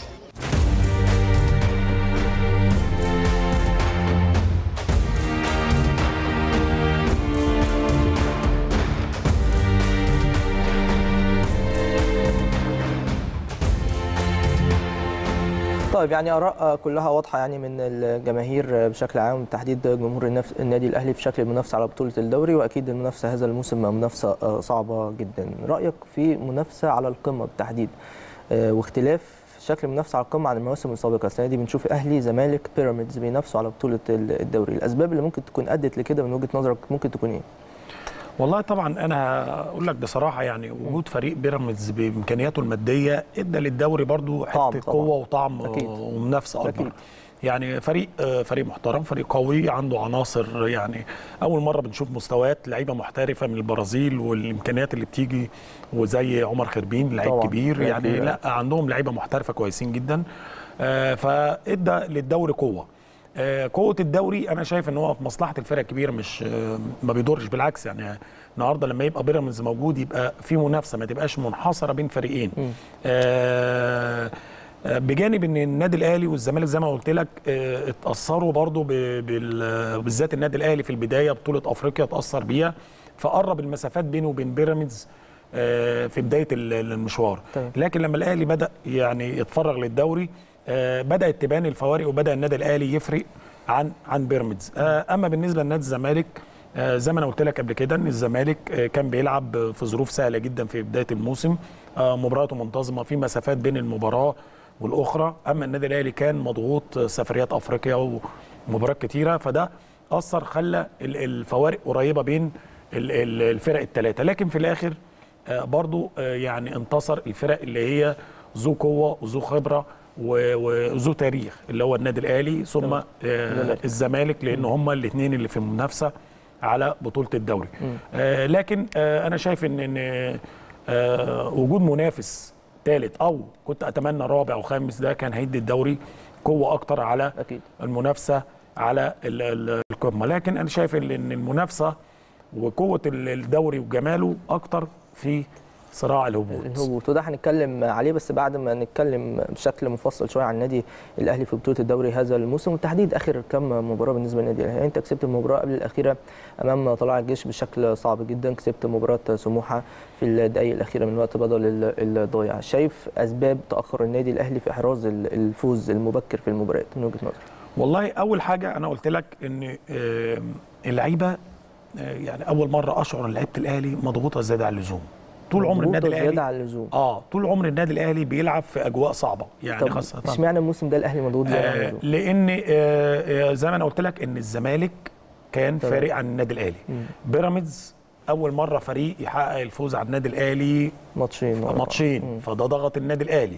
آه، ال- المباريات دي آه، بدأت تشكك في حتة إن النادي الأهلي ممكن ياخد الدوري. إحنا ك كلاعيبة النادي الأهلي أو أبناء النادي الأهلي أو الع... يعني عصر النادي الأهلي كلاعبين عندنا الثقة في فريقنا وعارفين النادي الأهلي بيعرف يحسم البطولة إزاي. لكن على مستوى الجماهير على مستوى الناس كلها بدأ يحصل تشكيك في الأمر. فاللعيبة برضو بتعيش أجواء ال... ال... التعامل مع السوشيال ميديا ومع مع المواقع ومع الإعلام. والإعلام أنا شايف الفترة اللي فاتت دي يعني ضاغط على النادي الأهلي من الجانب الآخر. بيحاولوا إن هم يعني عارف اللي هو بيشتغلوا على اللاعب اللي هو يعني ال- الحتة النفسية إن هم بي بيأثروا عليه نفسيا بالظبط يعني. بالظبط وده حصل حصل فعلا. كتير. يعني في في في يعني زي ما بيقولوا حرب نفسية على اللعيبة. فحسيت لعيبة الأهلي مضغوطة. يعني لعيبة الأهلي ما بتأديش بالشكل بتاعها اللي, اللي المعروف عنهم. كويس. آه زائد ده آه الإصابات اللي في النادي الأهلي. تغيير كتير في التشكيل غصب عن المدرب يمكن آه لاسارتي في الفترة الأخيرة بصراحة مثبت التشكيل لكن بيغيب برضه عناصر زي كريم نيدفيد لما بيتألق قوي ويبقى كويس وموجود تلاقيه بيتصاب. محمد محمود اتصاب آه وليد سليمان اتصاب عناصر سعد م- سمير اتصاب. سعد سمير اتصاب. بتلاقي عناصر مؤثرة جدا. جه فترة وليد ازارو اتصاب جاي اتصاب. علي معلول. علي معلول. يعني أنت بتتكلم آه، تقريبا الفرقة كلها القايمة تقريبا كلها اتصابت الموسم طيب آه، ف- فكل ده ليه تأثير على اللعيبة. فهتلاقي اللعيبة اللي ممكن هتأدي بالشكل اللي الناس آه، متخيلاه. فاللعيبة معذورة هنا. آه، بجانب إن خلاص أنت في الامتار الأخيرة من الدوري وعندك مباريات شبه متساوية مع الخصم بتاعك اللي هو الزمالك ومطالب منك إنك تكسبها وبتلاعب فرق هتنزل. يعني سموحة الماتش اللي فات فرق معاه وطلائع الجيش فرق معاه خلاص بتلاعب فرق كلها مهددة بالهبوط كلها. فبالتالي انت ما بتلعبش ماتش سهل. يعني انت بتلعب ماتش بتلاقي فريق قدامك ماتش بيقاتل. مه... إنبي برضه في في في صراع ال- الهبوط. يعني ماتش برضه صعب. فكل ده ليه تأثير على أداء اللاعبين في في الملعب. بجانب الحتة التهديفية قدام أنا شايف ان يعني آه، لازم يركزوا أكتر من أنت كده. كنت نجم كبير ومهاجم كبير وأحرزت أهداف كتيرة جدا للنادي الأهلي. كمهاجم بتقيم إزاي مهاجمي النادي الأهلي وأسباب إضاعة الفرص السهلة الكتير على مدار الموسم بالنسبة للنادي الأهلي؟ ممكن يكون أسبابها إيه؟ والله بص أنا هكلمك بكل أمانة. يعني وليد أزارو مهاجم خطير. أنا بيعجبني في تحركاته. مهاجم خطير. جدا. مم. يعني آه، المهاجم بدل بيوصل للجون كتير تعرف إن هو مهاجم ذكي جدا بيعرف يتحرك كويس، كويس, كويس. لكن وليد بيفتقد حاجة. اللي هي؟ وليد بيفتقد آه، موهبه احراز الهدف. لازم يشتغل كتير على نفسه. تمام. لازم يشتغل آه، شغل تخصص كتير على المرمى. لازم يعني آه، دي حاجة طبعا آه، بس أنا بتكلم بقى كمدرب. أنا لما بيبقى. عندي لعيب زي ده بجيبه بدل هو بيوصل المرمى أجيبه وأشتغل معاه على ال- ال- ال- الحراس المرمى. أجيب مدرب الحراس وأجيبه وأخلي ال- ال- المهاجم بتاعي ينفرد بالمرمى من من جميع جوانب الملعب وأقول له الجون بيبقى في الموقف ده بيعمل إيه بينزل إمتى ويقف إمتى. لازم يفهم دي. لو عمل ده وليد أزارو هيجيب له في الموسم مش أقل من 30 هدف. لأنه بيوصل أقل من 30 هدف. لأنه بيوصل كتير جدا. بيوصل كتير. يعني الماتشات اللي فاتت وليد بيضيع كتير. وليد متسرع شوية في حتة آه، أخذ القرار. ما بياخدش آه، سنة اللي هي التأني يعني اللي كانت مثلا مش هقول موجودة في موجودة في, في, في مهاجمين كتير في النادي الأهلي. أنت مهاجم النادي الأهلي عارف إن بتجيلك فرص. عارف إن اللعيبة هتخلق لك فرص. لازم تبقى مركز ولازم تتوقع ولازم تبقى محضر.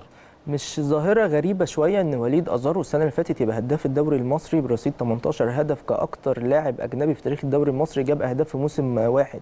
والموسم ده نشوف الكم الهائل من الفرص اللي ممكن ما يكونش موفق في إحرازها؟ ما أنا بقول لك آه الإصابات فرقت. آه الفرقة بيحصل فيها كل كام يعني ماتش. الإصابة بتاعته فترة طويلة دي ممكن تكون أثرت عليه طبعا. واللعيبة اللي حواليه اللي, اللي- بتتغير. أنا النهارده كمهاجم. وأنا بلعب الجيل بتاعي وأنا بلعب عارف محمد عمر هيرفع الأوفر فين؟ عارف إبراهيم حسن هيوديها فين؟ عارف ياسر ريان هيلعبها إزاي؟ عارف هادي خشب هيلعب لي إيه؟ خلاص إحنا حفظنا بعض. لكن لما ألاقي بقى مجموعة تانية غير المجموعة دي بتلعب معايا. صح، فأنا لما أجي أتحرك أنا مش عارف ده هيرفع الأوفر على القريبة ولا على البعيدة. نفس الحكاية المهاجم. دي جزئية مهمة في آه الحقيقة طبعا. فهو آه تغيير اللعيبة من حواليه برضه بيأثر عليه بيخلي ما فيش ربط بينه وبين آه، المجموعة اللي معاه. آه ليه بنقول تثبيت التشكيل؟ عشان يبقى في انسجام بين اللعيبة وبين بعض يبقى كل واحد عارف ده بيحب ياخد الكرة في رجليه ولا بيحب يتحرك ولا الأوفر بتاعه فين. الكلام ده لازم الناس تبقى واخدة بالها منه. دي تمام. حاجة مهمة جدا. فتغيير اللعيبة في الملعب آه، كثرة الإصابات ليها ليها تأثير على إحراز الأهداف. طيب مين من لعيبة النادي الأهلي لفت نظرك الموسم ده بشكل كامل؟ يعني شايف إن ده اللعيب يعتبر الأبرز في هذا الموسم في صفوف النادي الأهلي. ومع وضع في الاعتبار طبعا أنا عارف إن حضرتك كنت ماسك آه، فريق الشباب في النادي الأهلي مواليد 97 من كام سنة كده تقريبا. كنت أنا مراسل في التوقيت ده وبنزل أغطي قطاع الناشئين وكنت شايفك آه، بتمرن الفريق وكان معاك عناصر مميزة جدا. من اللي موجودين في الفريق الأول. يعني رمضان صبحي على ما أتذكر ناصر آه، ماهر كريم آه، ندفد كريم ندفد أحمد حمدي. وأحمد حمدي. ناس كتير جدا. آه يعني كل دول طيب و... تقييمك ليهم إيه؟ يعني أحمد حمدي مثلا طلع عرى الجونه، كريم ندفد موجود في النادي الأهلي بيتألق الفترة الأخيرة، آه، ناصر، رمضان، رؤيتك ليهم كمدرب ليهم سابق يعني. بص أنا هقول لك آه، بأمانة أنا اللعيبة دي يمكن أنا أنا اللي عملت اللعيبة دي عقود. عملت لهم عقود عقود. آه. معظم اللعيبة دي يمكن كان في اثنين أو ثلاثة ناصر و... و... و...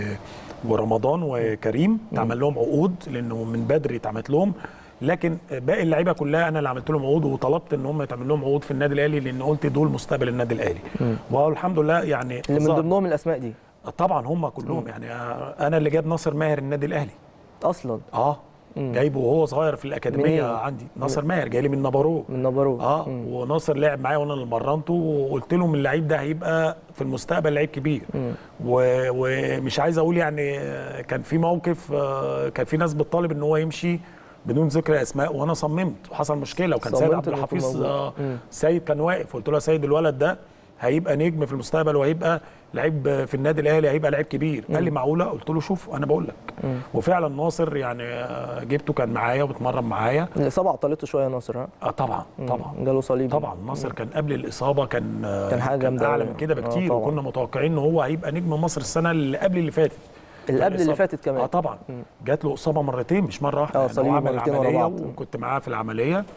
بعديها بشهرين آه، يعني اتزحلق آه، عمل. إصابة تاني. فطبعا آه، لعيب صغير وحصل حظ له سيء. جدا يعني. لكن ناصر لعيب كبير ناصر لسه قدامه كتير. مشكلة ناصر وأنا بقولها إنه للأسف الناس بتقارنه بلعيبة خدت مساحة وخدت وقت وخدت آه يعني آه وقت كافي كانت بتقارن بيه. كان الناس بتقارنه بعبد الله السعيد مثلا. إزاي أقارن. لعيب لسه طالع بلعيب لعب مواسم كتيرة وخبره أكيد. آه أقارنه بصالح جمعة. لا ناصر سنه قد إيه والناس دي سنها قد إيه؟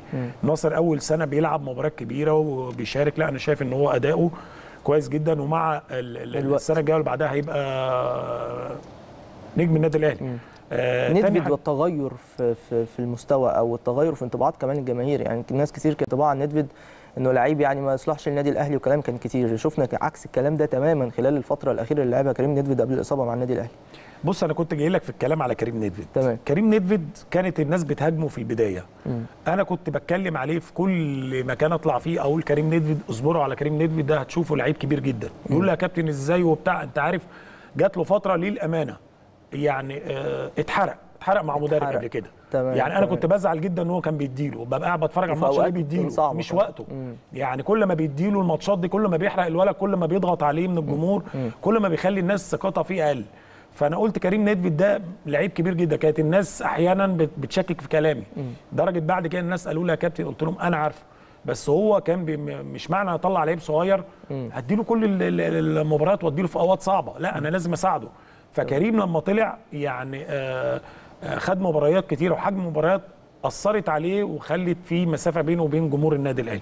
لما كريم خد في الأوقات المناسبة واحدة واحدة والناس شافت كريم و- وكريم بدأ ترجع له الثقة في نفسه. لا لعيب كبير جدا. خلي بالك من مختلف. أفضل اللعيبة في نص الملعب في مصر كريم ندفد وأنا بقول لك ده وضح في الحقيقة من خلال المباريات دي حقيقة. كريم. ندفد أنا وأنا بلاعب ال- الأهلي في كأس مصر الترسانة والأهلي من أهم العناصر اللي كنت قلقان وبتكلم عليها في المحاضرة. كريم كريم قلت لهم أخطر لعيب وفعلا لأنه بيجي عنده ميزة كريم إن هو بيكمل ورا الهجمة. بيخش جوه ال 18 في كل هجمة. فعلا. فأنت اللعيب اللي بيجي مش مراقب من نص الملعب ده أخطر لعيب. فعلا وهو في الحقيقة السنة دي أحرز العديد من الأهداف بالطريقة دي يعني مع النادي الأهلي سواء في بطولة الدوري أو بطولة دوري أبطال أفريقيا يعني قبل خروج النادي الأهلي. يعني طب خلينا برضو نتكلم عن صراع الهبوط في بطولة الدوري وجهة نظرك وخصوصا في عدد كبير جدا من الفرق اللي بتنافس على البقاء في بطولة الدوري. قبل ما أخد وأسمع وجهة نظر حضرتك خلينا نشوف وجهة نظر الجماهير وتوقعاتهم للفريق الثالث اللي هيهبط مع النجوم والداخلية لدوري الدرجة الثانية. خلينا نروح نشوف.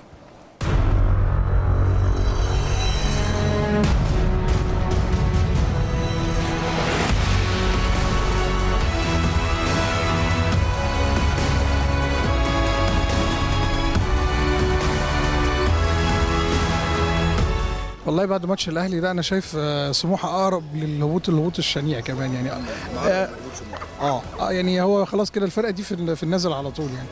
ما نتمناش ليها بس يعني هو ده الواضح المؤشرات بتقول كده. يعني سموحة الإنتاج الحربي غالبا ممكن يكون ممكن يكون الإنتاج الحربي.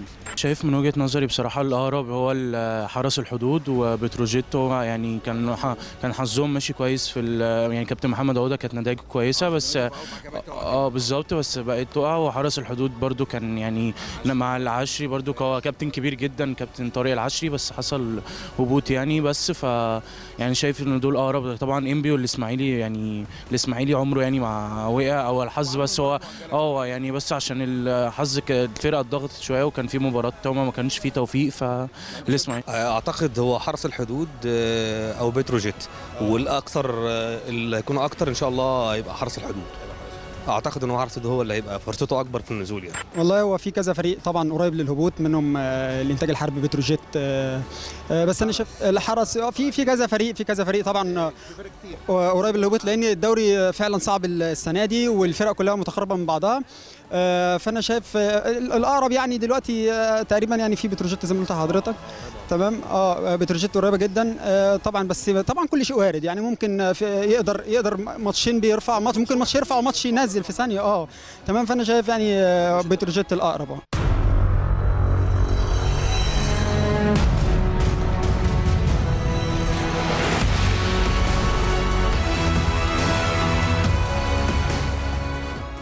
عدد كبير جدا من الفرق اللي بتنافس على البقاء في بطولة الدوري هذا الموسم. يعني خليك معايا كده كابتن من مركز رقم آه، سبعة اللي هو النادي الإسماعيلي اللي عنده 38 نقطة لحد آه، نادي بتروجيت اللي عنده ست آه، عنده 34 نقطة في المركز ال 16 كل دي فرق بتنافس على البقاء في بطولة الدوري. الظاهرة دي تفسيرك ليها إيه الأول الموسم ده؟ والله دي آه، اللي خلى إن الأمور تعمل كده والفرق الكبيرة تقع آه، بدايتها ل- بداية الموسم بداية يعني. بتروجيت كان واقع جدا في بداية الموسم مم. انبي كان واقع في بداية الموسم بدأ بداية سيئة مم. فلما يبقى آه، وادي دجلة بدأ بداية سيئة جدا آه، الفرق اللي هي يعني عايزين نقول إن هي إيه بدايتها ما كانتش كويس سموحة.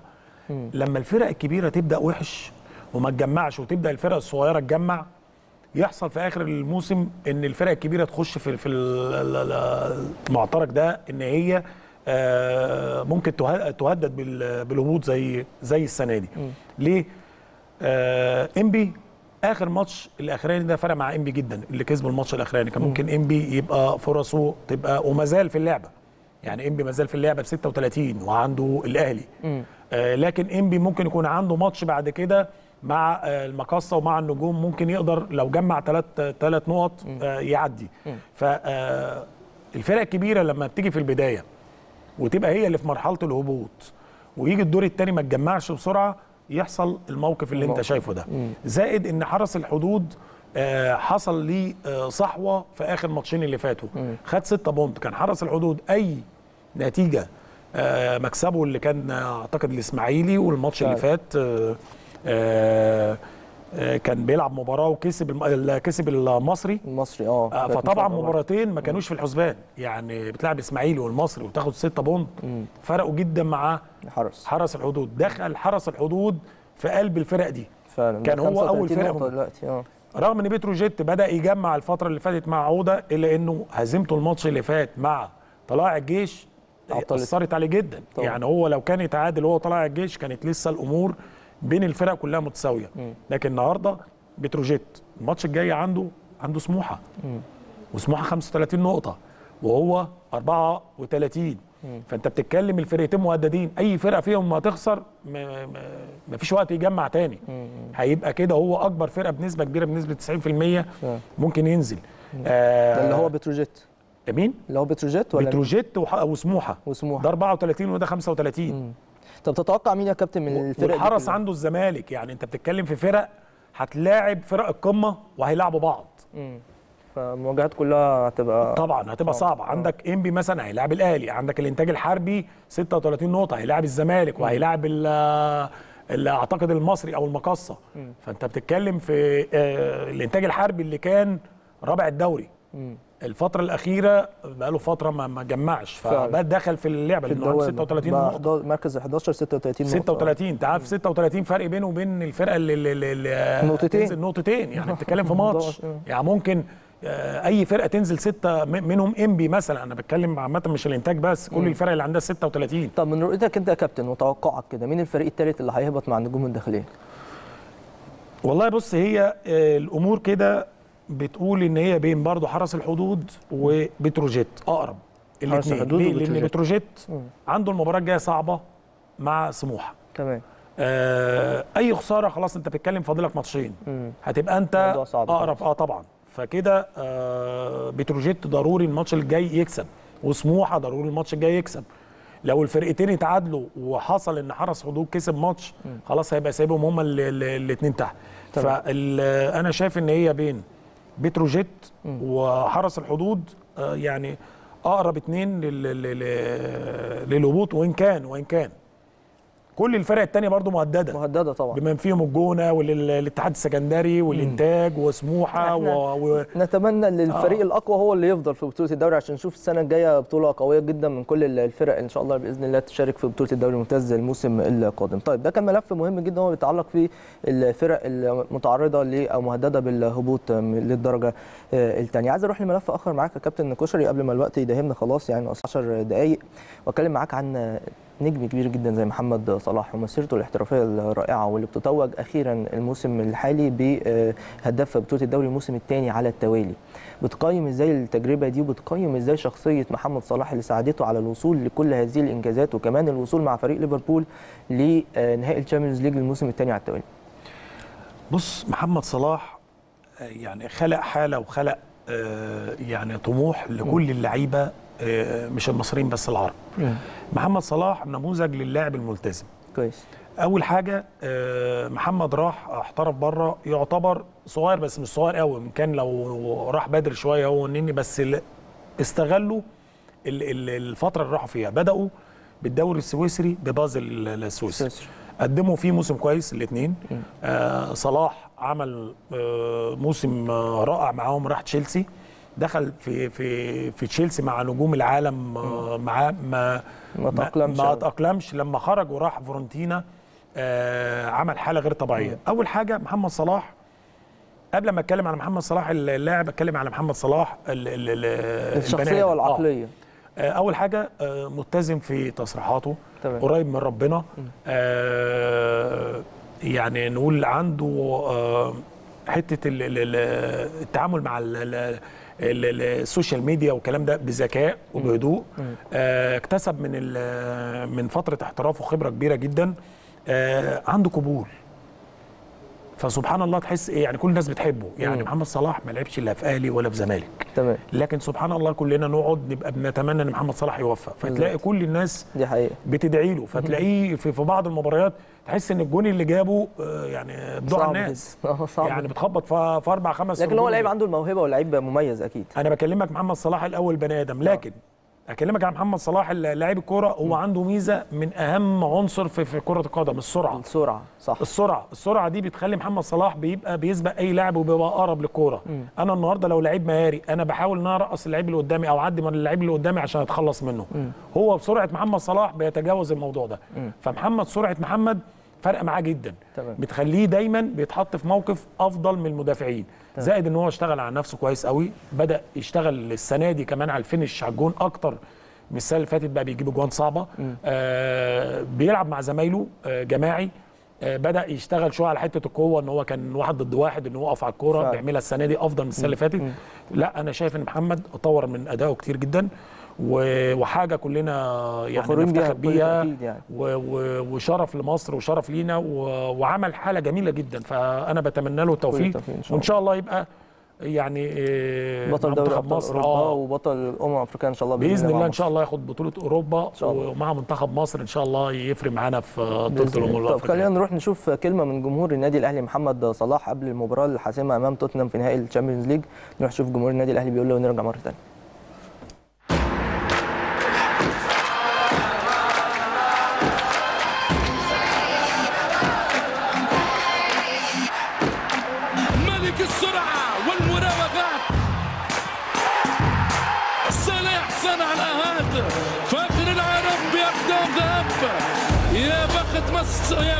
مصر بيك يا محمد.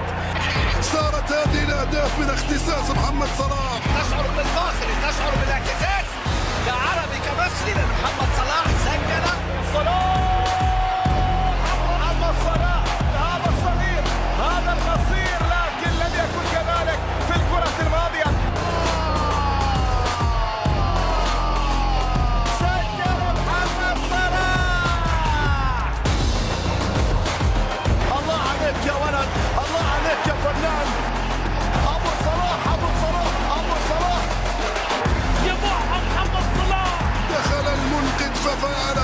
صلاح. طبعا حاجة تشرفنا وحاجة تسعدنا كلنا كمصريين.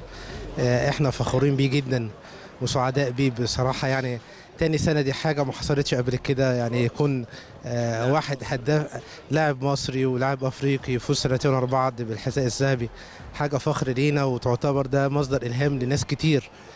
فاحنا يعني بن بنهنيه وبنشكره على الإنجاز دوت اللي فعلا رفع بيه راسنا وفعلا هو فخر العرب كلنا إن شاء الله. بقول له تشكر الله سبحانه وتعالى اولا وتشكر آه، كل من يحبك آم، لإخلاصك وتفانيك وحبك لبلدك وأن التوفيق من الله سبحانه وتعالى وكن إن محمد صلاح ابن مصر ان دل على شيء فإنما يدل على إن مصر بلد ولاده في كل شيء وفي كل المجالات.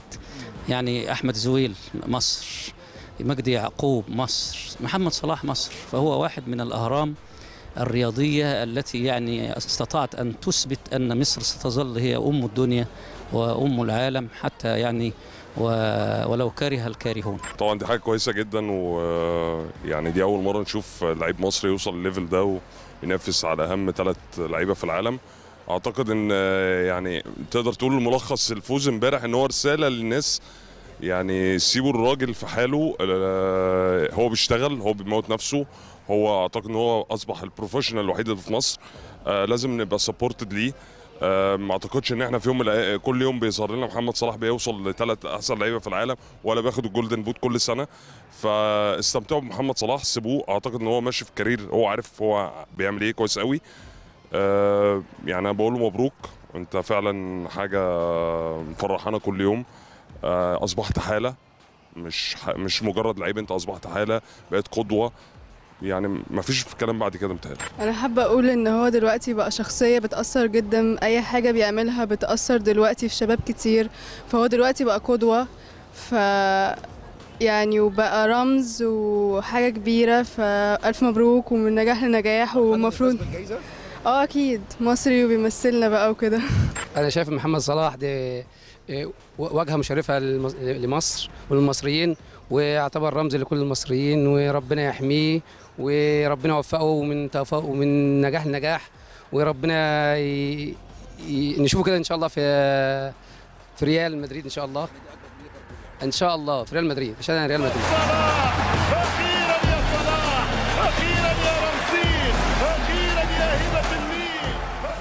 سريعا نختم بملف المنتخب المصري واستعداداته لبطولة الأمم الأفريقية. توقعاتك للمنتخب في هذه البطولة وخصوصا انها تقام في الأراضي المصرية بحضور الجماهير ال- المصرية. رؤيتك للاستعدادات وتوقعاتك للمنتخب في تحقيق هذا اللقب إن شاء الله.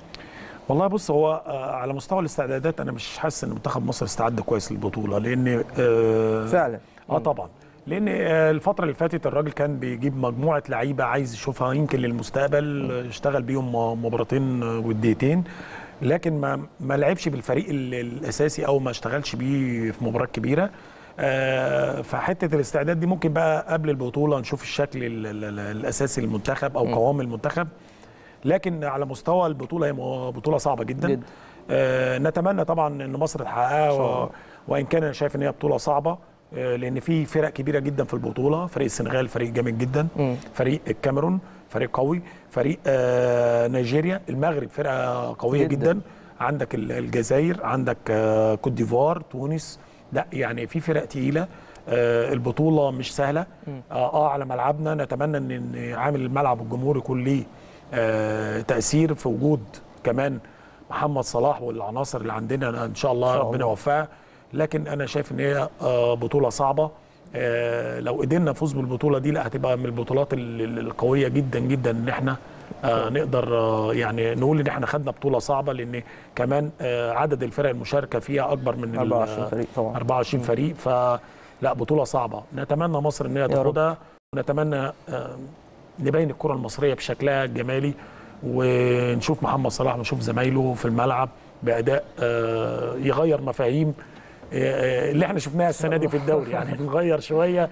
الأداء وال-. والحاجات اللي حصلت في الدوري. إن شاء الله أكيد نتمنى كل التوفيق للمنتخب المصري في تحقيق هذا اللقب الهام. إن شاء الله اللي هيقام على الأراضي المصرية والجمهور المصري أكيد هيكون ليه دور كبير جدا في فوز المنتخب ببطولة الأمم الأفريقية. كابتن كشري نورتني وشرفتني وأنا كنت سعيد جدا إن حضرتك موجود معانا النهارده. حبيبي يا أمير ميرسي وأشكرك وأنا سعيد إن في قناة الأهلي بيتي ومكاني وصاحب الفضل عليا النادي الأهلي فأشكرك. جزيلا. نورتنا وشرفتنا. طبعا كابتن أحمد كشري نجم النادي الأهلي السابق. اتكلمنا في العديد من الأمور بتخص الكرة المصرية بشكل عام وبالتحديد كمان فيما يخص النادي. الأهلي أكيد كانت فقرة مهمة ومميزة آه، جدا جدا. دي كانت حلقتنا النهارده من الأهلي. ليله استنونا حلقة جديدة إن شاء الله. إلى اللقاء.